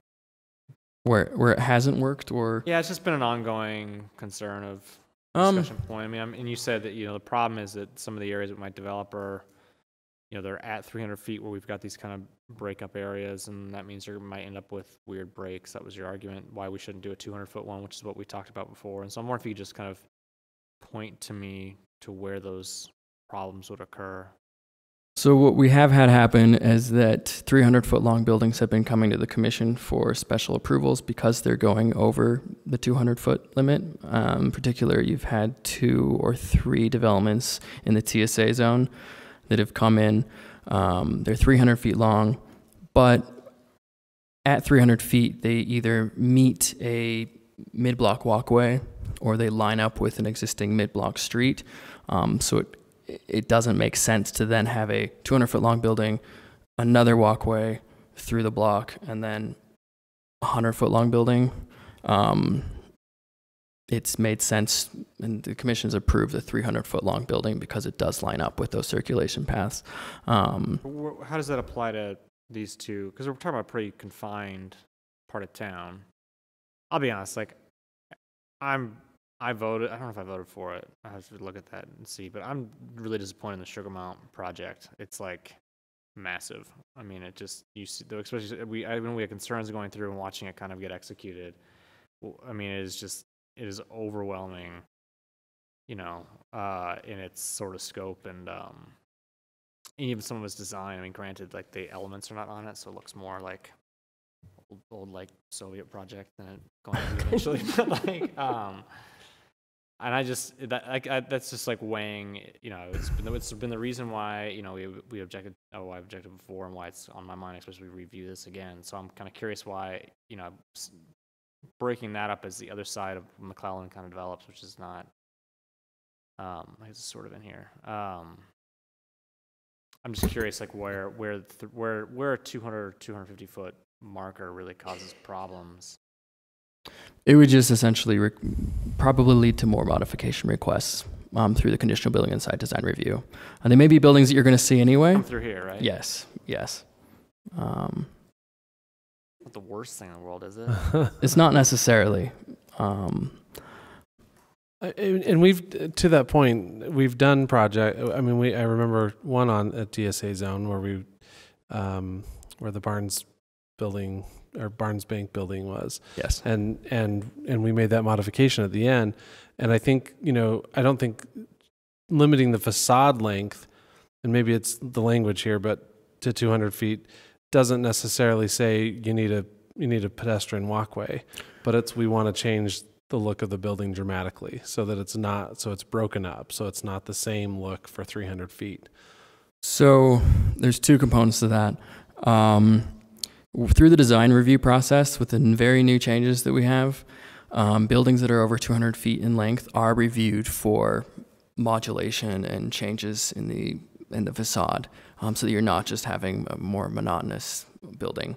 Um, the th- but then you have in the design standards chapter, if you impose a 200 foot long length building length limit, there is a requirement that you then have a 20 foot wide space between the end of your building and any subsequent building that you're showing on your proposal with a five foot walkway um, for pedestrians at a minimum. Um, so it does, if you, yeah, so you, it does impose an additional actual break in the building that you'd be modifying Th- somehow. This this does or yes, this okay. does. Yes. So at 300 feet of length, they would have to do a 20 foot wide break um, with a five foot walkway. And this is changing that to This- 300. This is imposing 300. There's no. Keeping it the same. It's keeping the same essentially as, as what, as how we've been reviewing buildings in the past. It's- currently, there's no number in that box. To box. avoid that, that ruling or the 20 foot break with a five foot pedestrian thing if you came through this, this body. You ask- you could ask ask for for you could ask for modification. Yes. Um. So there's no currently in the code. To clear, there is no requirement for a 20 foot wide walkway um, for buildings in Sugar House. After you hit a maximum length of building, this would be imposing that at 300 feet. You could impose it at 200 feet. Well, I don't know that I don't know that we want to impose that at 200 feet. We want we just I just don't. Daniel, you it's know I hate long buildings. break, right? It's imposing the, the breaking the building. It's imposing like the design, look, feel, and um, what the building is. I mean, That, that's a it's- different, I think that's a very different, um, that's a Breaking different idea here. A 300-foot long facade is a pretty long facade, and after you're, I mean, that's a, a half a block here or, or to, to a mid-block walkway, you know. There's, there's no block face in downtown that's 300 feet long without a break, I don't think. There's Very few, few. South. Very few, so maybe. Um, but, and, McClelland now. huh? 330. And McClelland. McClelland's 330. Well, 330 is half of a Salt Lake City block, so that's what makes sense. You know, if you take out, uh, so I- actually think that that 300 is a is a good number, and you should have a break. There should be some kind of a break there, but I think it's actually more important that those breaks align with whatever the circulation plan is than it is any particular length. In other words, if there's a circulation plan that says here's where the mid-block walkways sort of go, then that's where the length of the building ought to end. Then why not keep the the break requirement at 300 feet, but require a change in facade and look and feel at 200 feet or They whatever? already do that. It would, yes. So any building that's over 200 feet would have to go through the design review process, which was just barely adopted by the city. Okay. And there's a requirement at 200 feet, that building has to be reviewed for facade interest and modulation. Um, if Molly remembers more details from that, Yeah, feel there's, free to. there's three things that you have to include for a building that has a combined contiguous building length of more than 200 feet. And those three things are changes in vertical plane, so breaks in the facade, um, material changes, and massing changes. So, you know, you're looking for that push-pull Yeah. type of thing. That is in the, des- the new design review ordinance. So for anything over 200 feet. And the, i- you know, the idea, because that's going to apply outside of Sugar House Business District. Um, You're going to get larger buildings throughout the city um, that are more than 200 feet. They're going through the design review process. We allow that building to be longer than 200 feet, but you've got to do these three things so that you don't have this monotonous, boring experience as you're moving along. Next, So Molly, who does the design review in the city? uh, you do.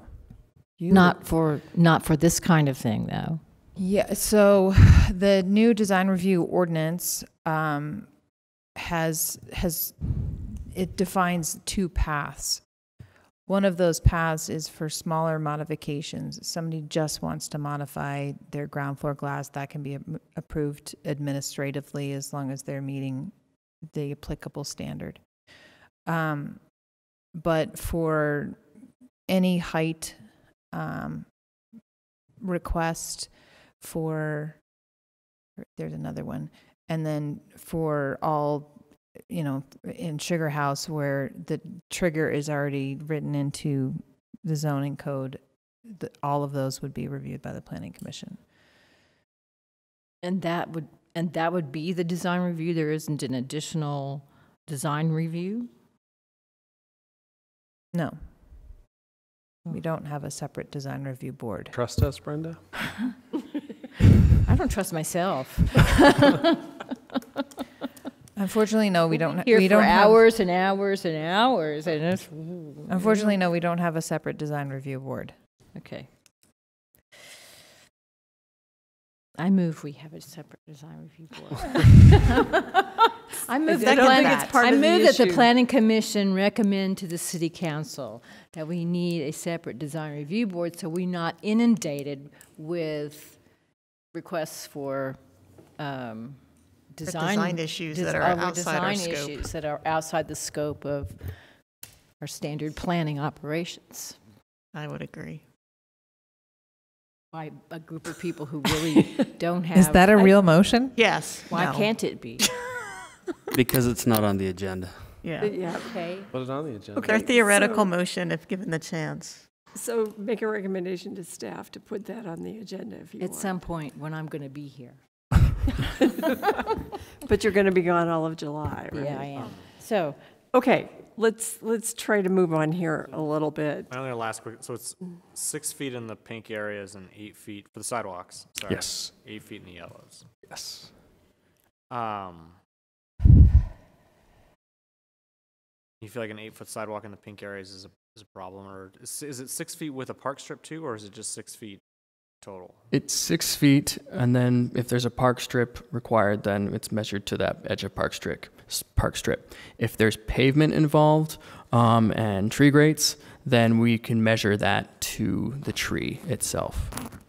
So that helps in some of the difficult situations So where there's some constraints. It's like a seven or eight foot barrier between sidewalk and a road, or you've got a tree.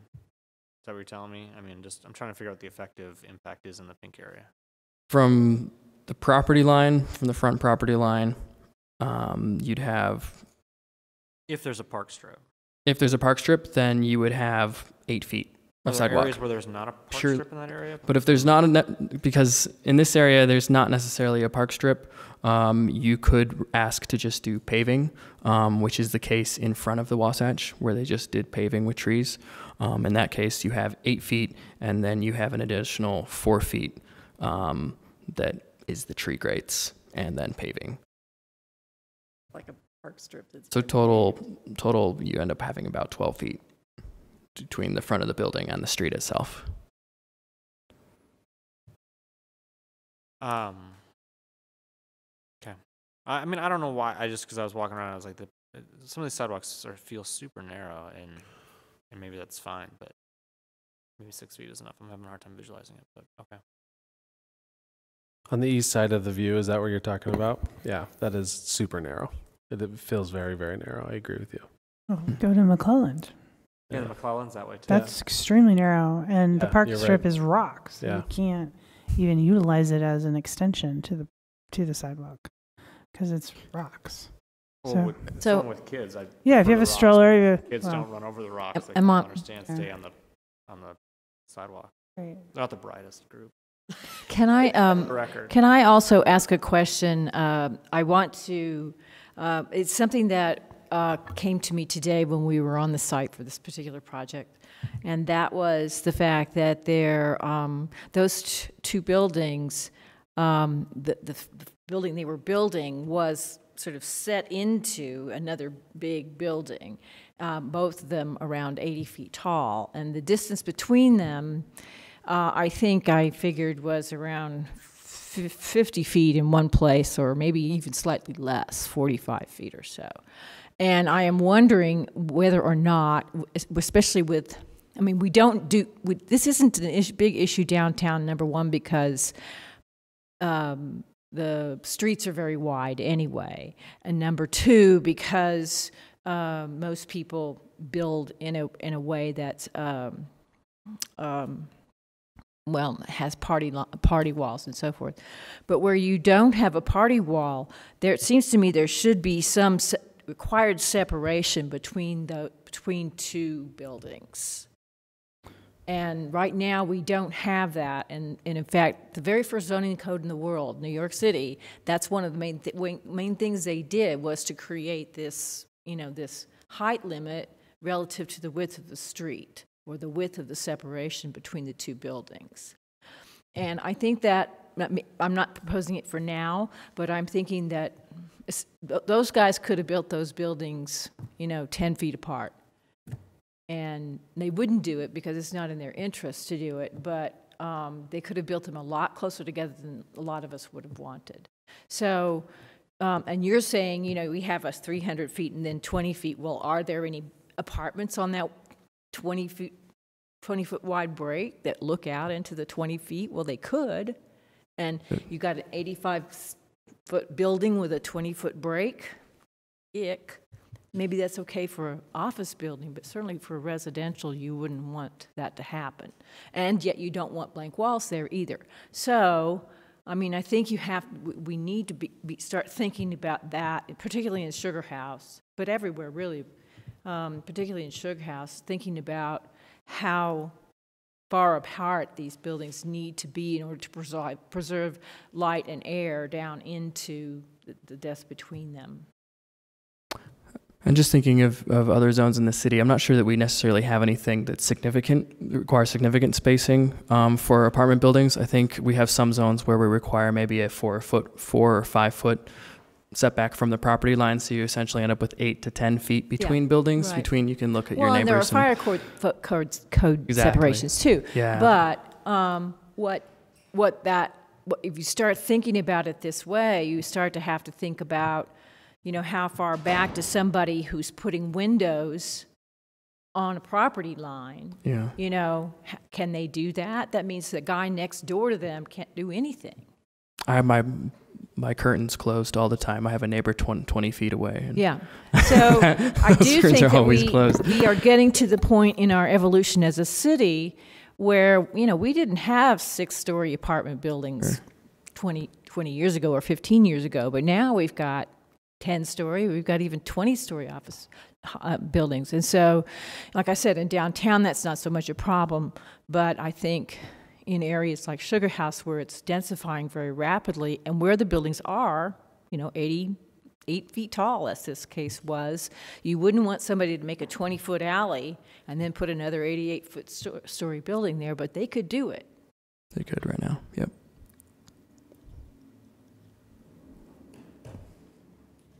Anything else pertinent to this particular proposal?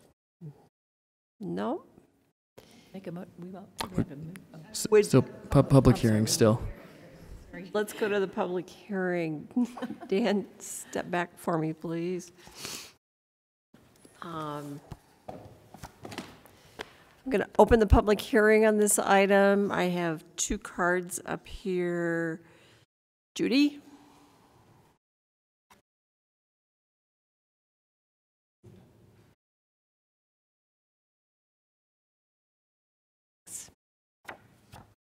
Listening to you two, you all rattle on, reminded me why it was difficult to get much public comment for this concept because it just makes your eyes glaze over. It's very complicated. So, how big is a 300 foot building? It's the size of a football field. I mean, do you want that in your neighborhood? Maybe you don't live in Sugar House, but that's too long. Lynn and I were looking at the Legacy this afternoon, which is the one, the tall building on Sugar or Wilmington, and that building is not even 200 feet long, and it seems enormous. So, I really wish Daniel could figure out a way that it could be allowed to be less than 200. I mean, why does everybody feel like the developers have to get the most they can and they build it as big as they can?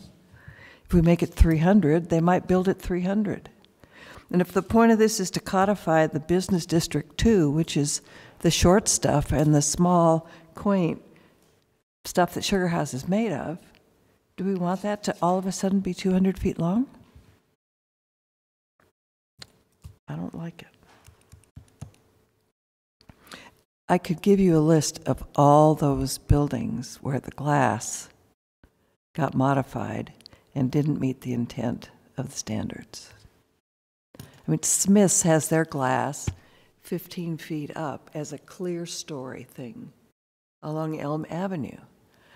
I mean, we can't make this stuff up. They think of it, and it drives us crazy. So I think you have to be more specific than just 40% glass. You need to say that it's clear, unobstructed glass. Because they'll paint it on the inside, like the DI did, or they'll make it into uh, window boxes, like we have along 21st South, which doesn't do anything. Who wants to look at just a dress in a box that's 12 inches deep? So I think there needs some more specificity here. Um, we wanted active main entrances every 30 feet, and this somehow has morphed to 40 feet. I don't think, I think 40 feet's almost too far.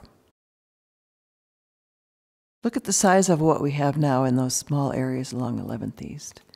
They still can't build any taller than 30 feet. So why would they need to be 40 feet apart?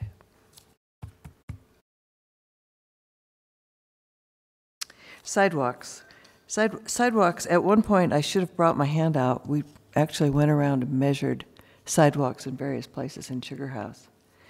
And McClelland's a bad street. I mean, those are like five barely. And you can't get a mother, a father, a bike, and a dog, and somebody's pushing a baby carriage. You just can't, and then somebody's coming the other direction. So I think wherever it's possible, we should make them wider.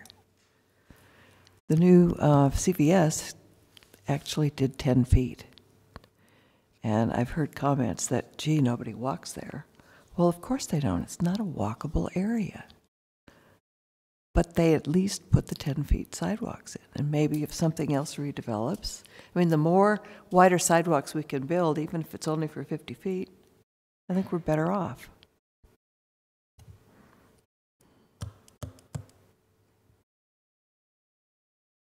So I guess that's all I have to say. I just think there needs to be some kind of flexibility. I get the fact that, I mean, maybe there's a sentence you can add uh, your building can't be longer than 200 feet unless there's an active walkway, in which case it can only be 175. Something like that. I don't, you know, I don't quite know. I'd have to see, you'd have to see a map. But I would think you guys have to put up with some design review to get a little better design. Maybe. Thanks. Thank you, Judy. We have Lynn Schwartz. State your name for the record, and you'll have two minutes.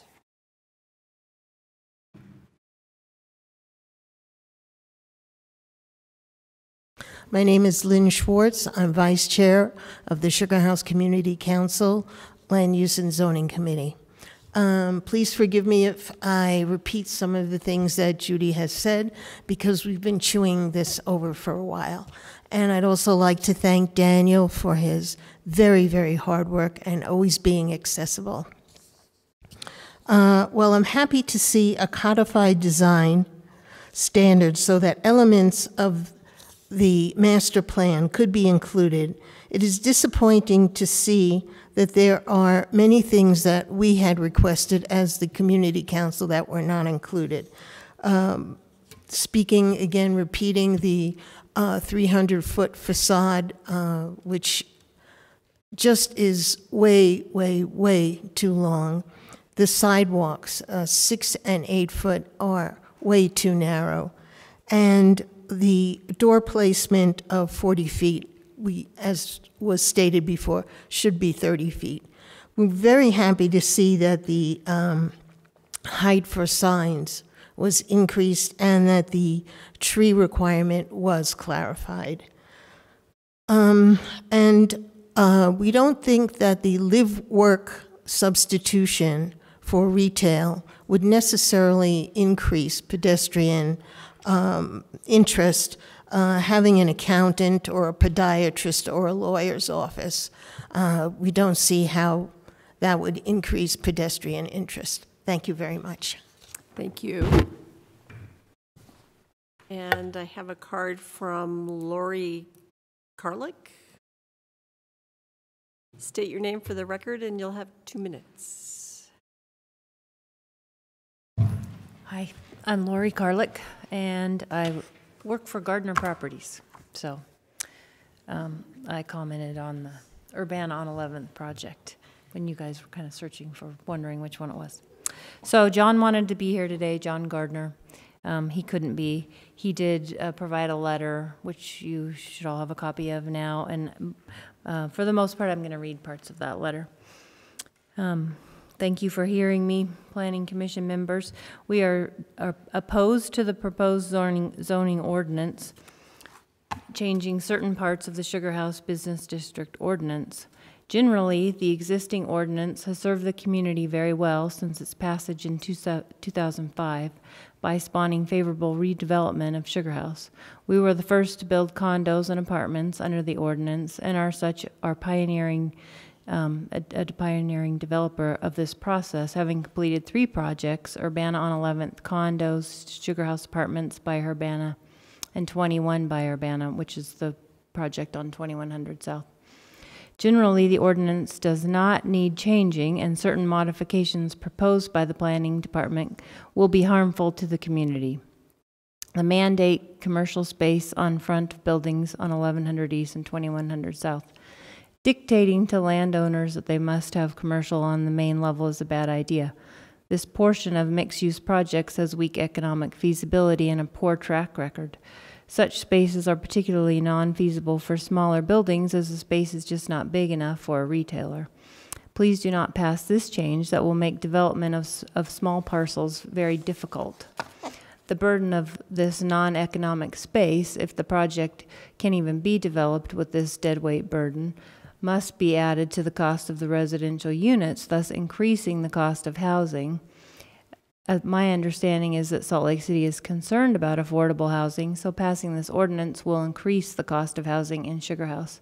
And uh, Judy mentioned in the last couple months we've lost a couple retail shops. We lost um, the eyeglass shop and Design Details, um, and they were both on 1100 East. Our latest project on 2100 South, uh, 21 by Urbana, has our lobby, our leasing office, a cyber cafe, and also two walk up residential units, which are all very successful. Lots of activity on street level, and the people are on their balconies at night. This type of development would be banned under the new ordinance proposed. Um, no good reason for banning such developments. We've got um, one particular resident who put a, put a fire pit out front and uh, had had a party on Saturday night right there on 2100 South. So um, maybe some of the neighbors didn't like it, but thanks. That's I definitely brought Thank you. That's your two minutes. Thank you. Okay. We're also would like to see the sidewalks stay at five so that the mature trees can stay in place. Thank you. Okay, is anyone else in the audience wanting to speak on this topic? Seeing no one, I'll close the public hearing, bring it back up to the commission. Any, do you want Dan to come back? I do have a couple questions, unless I am tarred and feathered by the commission for holding us longer. We might. Okay, well, that's fine. That's fine. I'll take, I'll take one for the city. Um, Two minutes. the, the tree, tree removal thing, what, i- that, does the increasing size of sidewalks, is that going to have any impact on the trees? So generally, if there's some if there's some obstruction in the way, they would have to shift their sidewalk around the obstruction. If that tree is is staying, um, generally, urban forestry um, requires you to save the trees. Um, so we generally have to stay. Um, we did build in some flexibility into the ordinance to take that into consideration um, as far as where um, it is the sidewalk width's measured from to the tree. But if the tree was super close to the property, they would have to then shift the sidewalk maybe a foot into the property. Um, we do have, so there's some other avenues where they could modify the sidewalk width requirement. We do have a provision in the landscape ordinance that allows the zoning administrator to um, modify zoning requirements by 20%. So if the six foot provision is causing a problem, they could reduce the sidewalk down to four feet, uh, 4.8 feet, um, to avoid any conflict with the tree. Um, we could add additional language to clarify um, that trees can't be removed because of a sidewalk requirement. I, I mean, do you believe that the system in place would give deference to the tree generally? I mean, I, would hate yes. to be super strict on it because there there probably are some strange situations that the tree doesn't make sense. But generally, I would. Yeah, generally it's it's it's more difficult to just remove a, a street tree, um, and we do have protections in there for zoning administrator um, to do some modifications on sidewalk and planning director to also do modifications. Um, for example, I think there are some side streets that it may be difficult, um, and in those side streets, the circulation plan may provide us some flexibility as far as the sidewalk widths, acknowledging that our right of ways aren't very wide there. Um, so the planning director could also approve a modification. So we, we put that language in, in there because we understand the concern about the trees. We don't want to lose those trees either. Um, Okay. Yeah, I think that's good. Um, and we we get this question all the time about the feasibility about retail, and like we haven't, I don't have any idea, right? And um, I mean, I would generally want to lean on ensuring that there is space for that opportunity at some point, and not close it off and and and make it something that will never be active like retail. Um, and I do worry about live workspaces a little bit because I've seen them go bad where they do just kind of turn into an apartment and they put up blinds and they don't actually have a workspace. So then it really is just a residential space on the ground floor. Are there any protections in the definition of what a live workspace is to So we, that? we did put a qualifier in there that the workspace has to be on the ground floor, um, so that that space would be next to the street, thinking of that potential situation. Um, and that live work provision was put there because we understand that it can be difficult to get financing for a mixed use product. Um, and this would be an option, um, for a residential developer, um, to maybe get financing easier, easier um, without the risk of a purely commercial space on the ground floor um, because it can potentially increase costs and increase the cost for the units above if the commercial space isn't leasing. So is it really, I mean, I guess for projects of the size, I, I just question whether it's really an issue. I mean, if you develop or codify the design standards and go with more of a form-based approach, as long as you have the form you want, why are we so concerned with the specific uses for Um, small projects? For for example, if you had a small project, small property in the core of Sugar House on Highland Drive, um, But how purely those resi- are there? There could there are a few pockets where we do have small properties, especially on the east side of Highland Drive.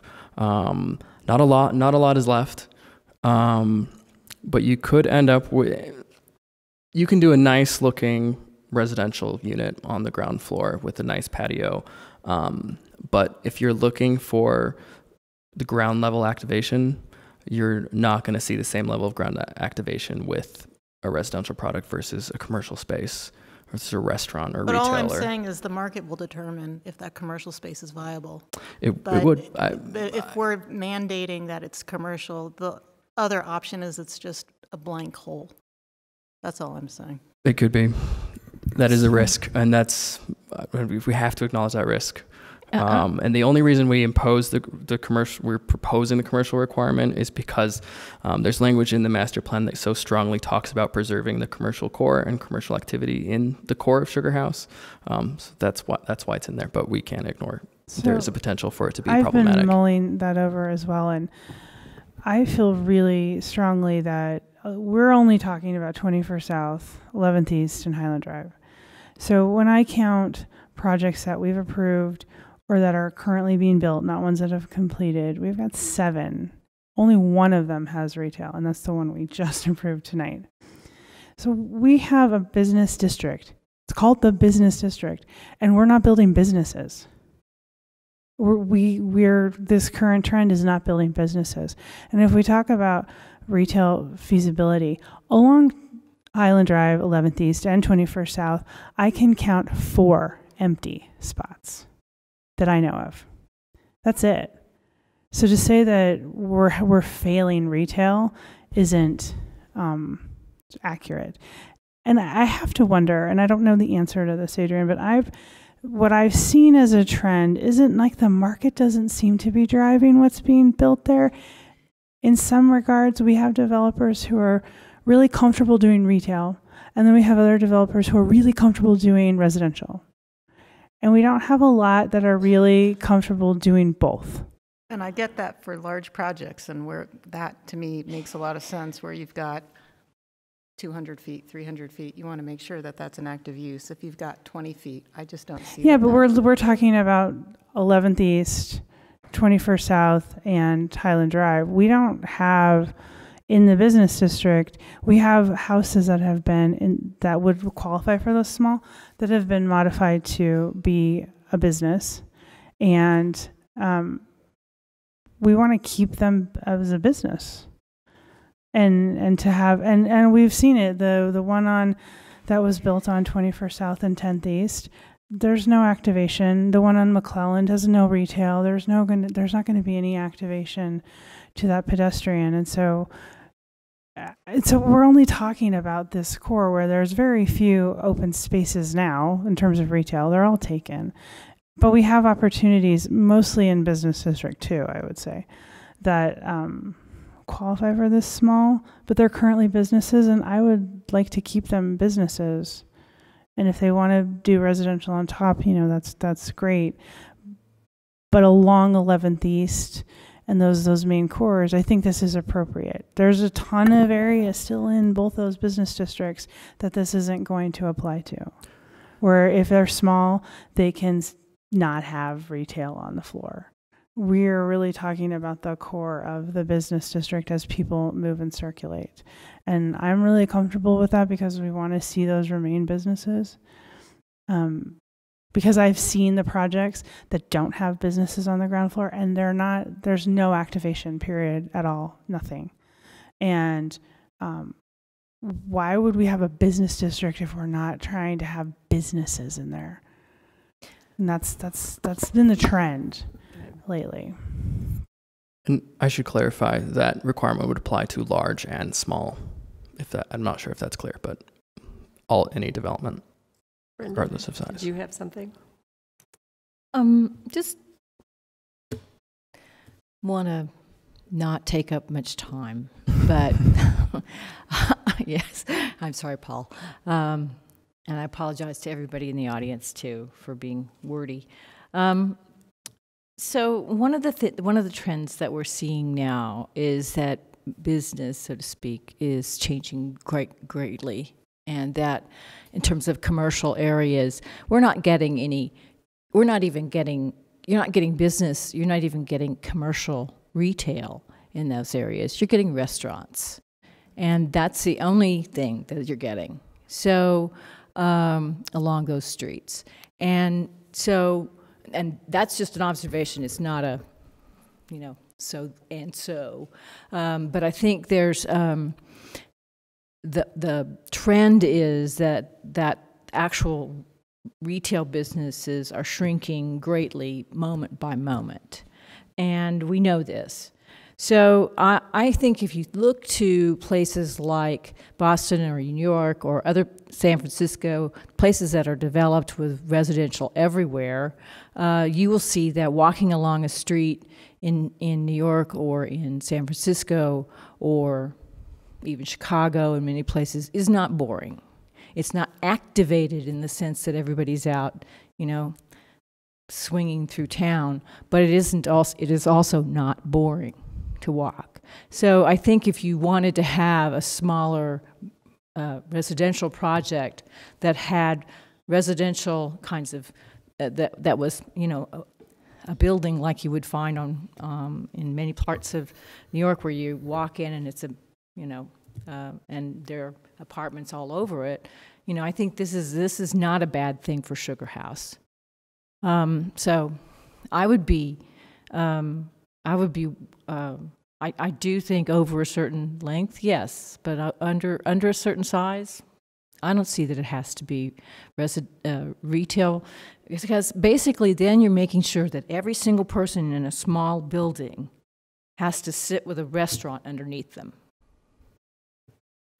So, Brenda, that the, the who the tenant is is related to the property owner. I agree. I don't want to see all these um, restaurants, but that's who they're renting to.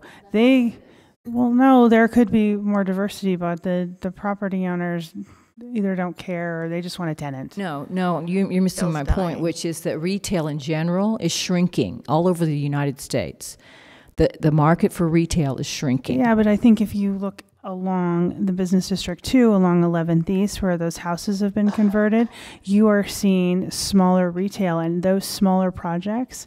If you take away their opportunity for retail, Nobody's they, they end up taking it away. creeping. Nobody's, no, nobody's taking, it away. We're just not requiring it. Yeah, I, I feel comfortable with these core streets having a retail component. The rest of the business district, and there's a lot of it um, along the side streets, it wouldn't apply to them. So. Okay. Can somebody make a motion with recommend, it's a recommendation. Yeah, I'll make a recommendation. Well, you need to make a motion. Well, a motion, With that's. a recommendation. The recomm, yeah. Okay.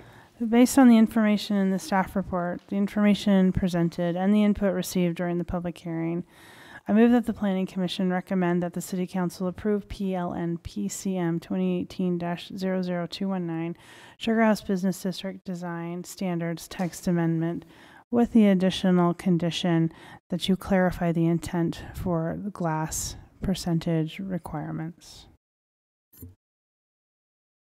Do we have a second?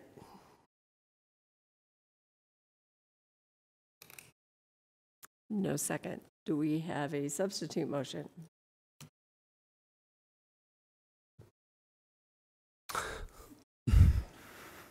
I can't make a motion. Come on.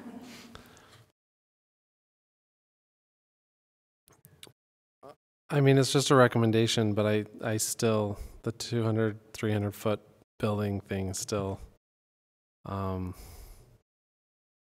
I don't know. I, I, but, I- but I haven't, I haven't processed, processed it enough to be able to provide good feedback other than our buildings are too long, our facades are too long. And I get your point, and I, and I probably just need to give it up, um, for this space.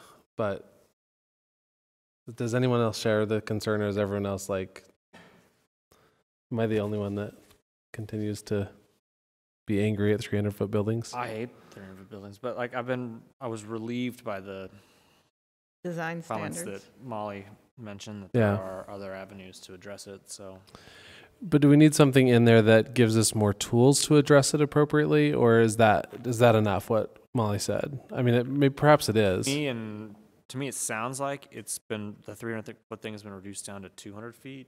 At least the the problems that I experience with a 300 foot building, like I don't mind that it's a building, it, but it's just that it's one building.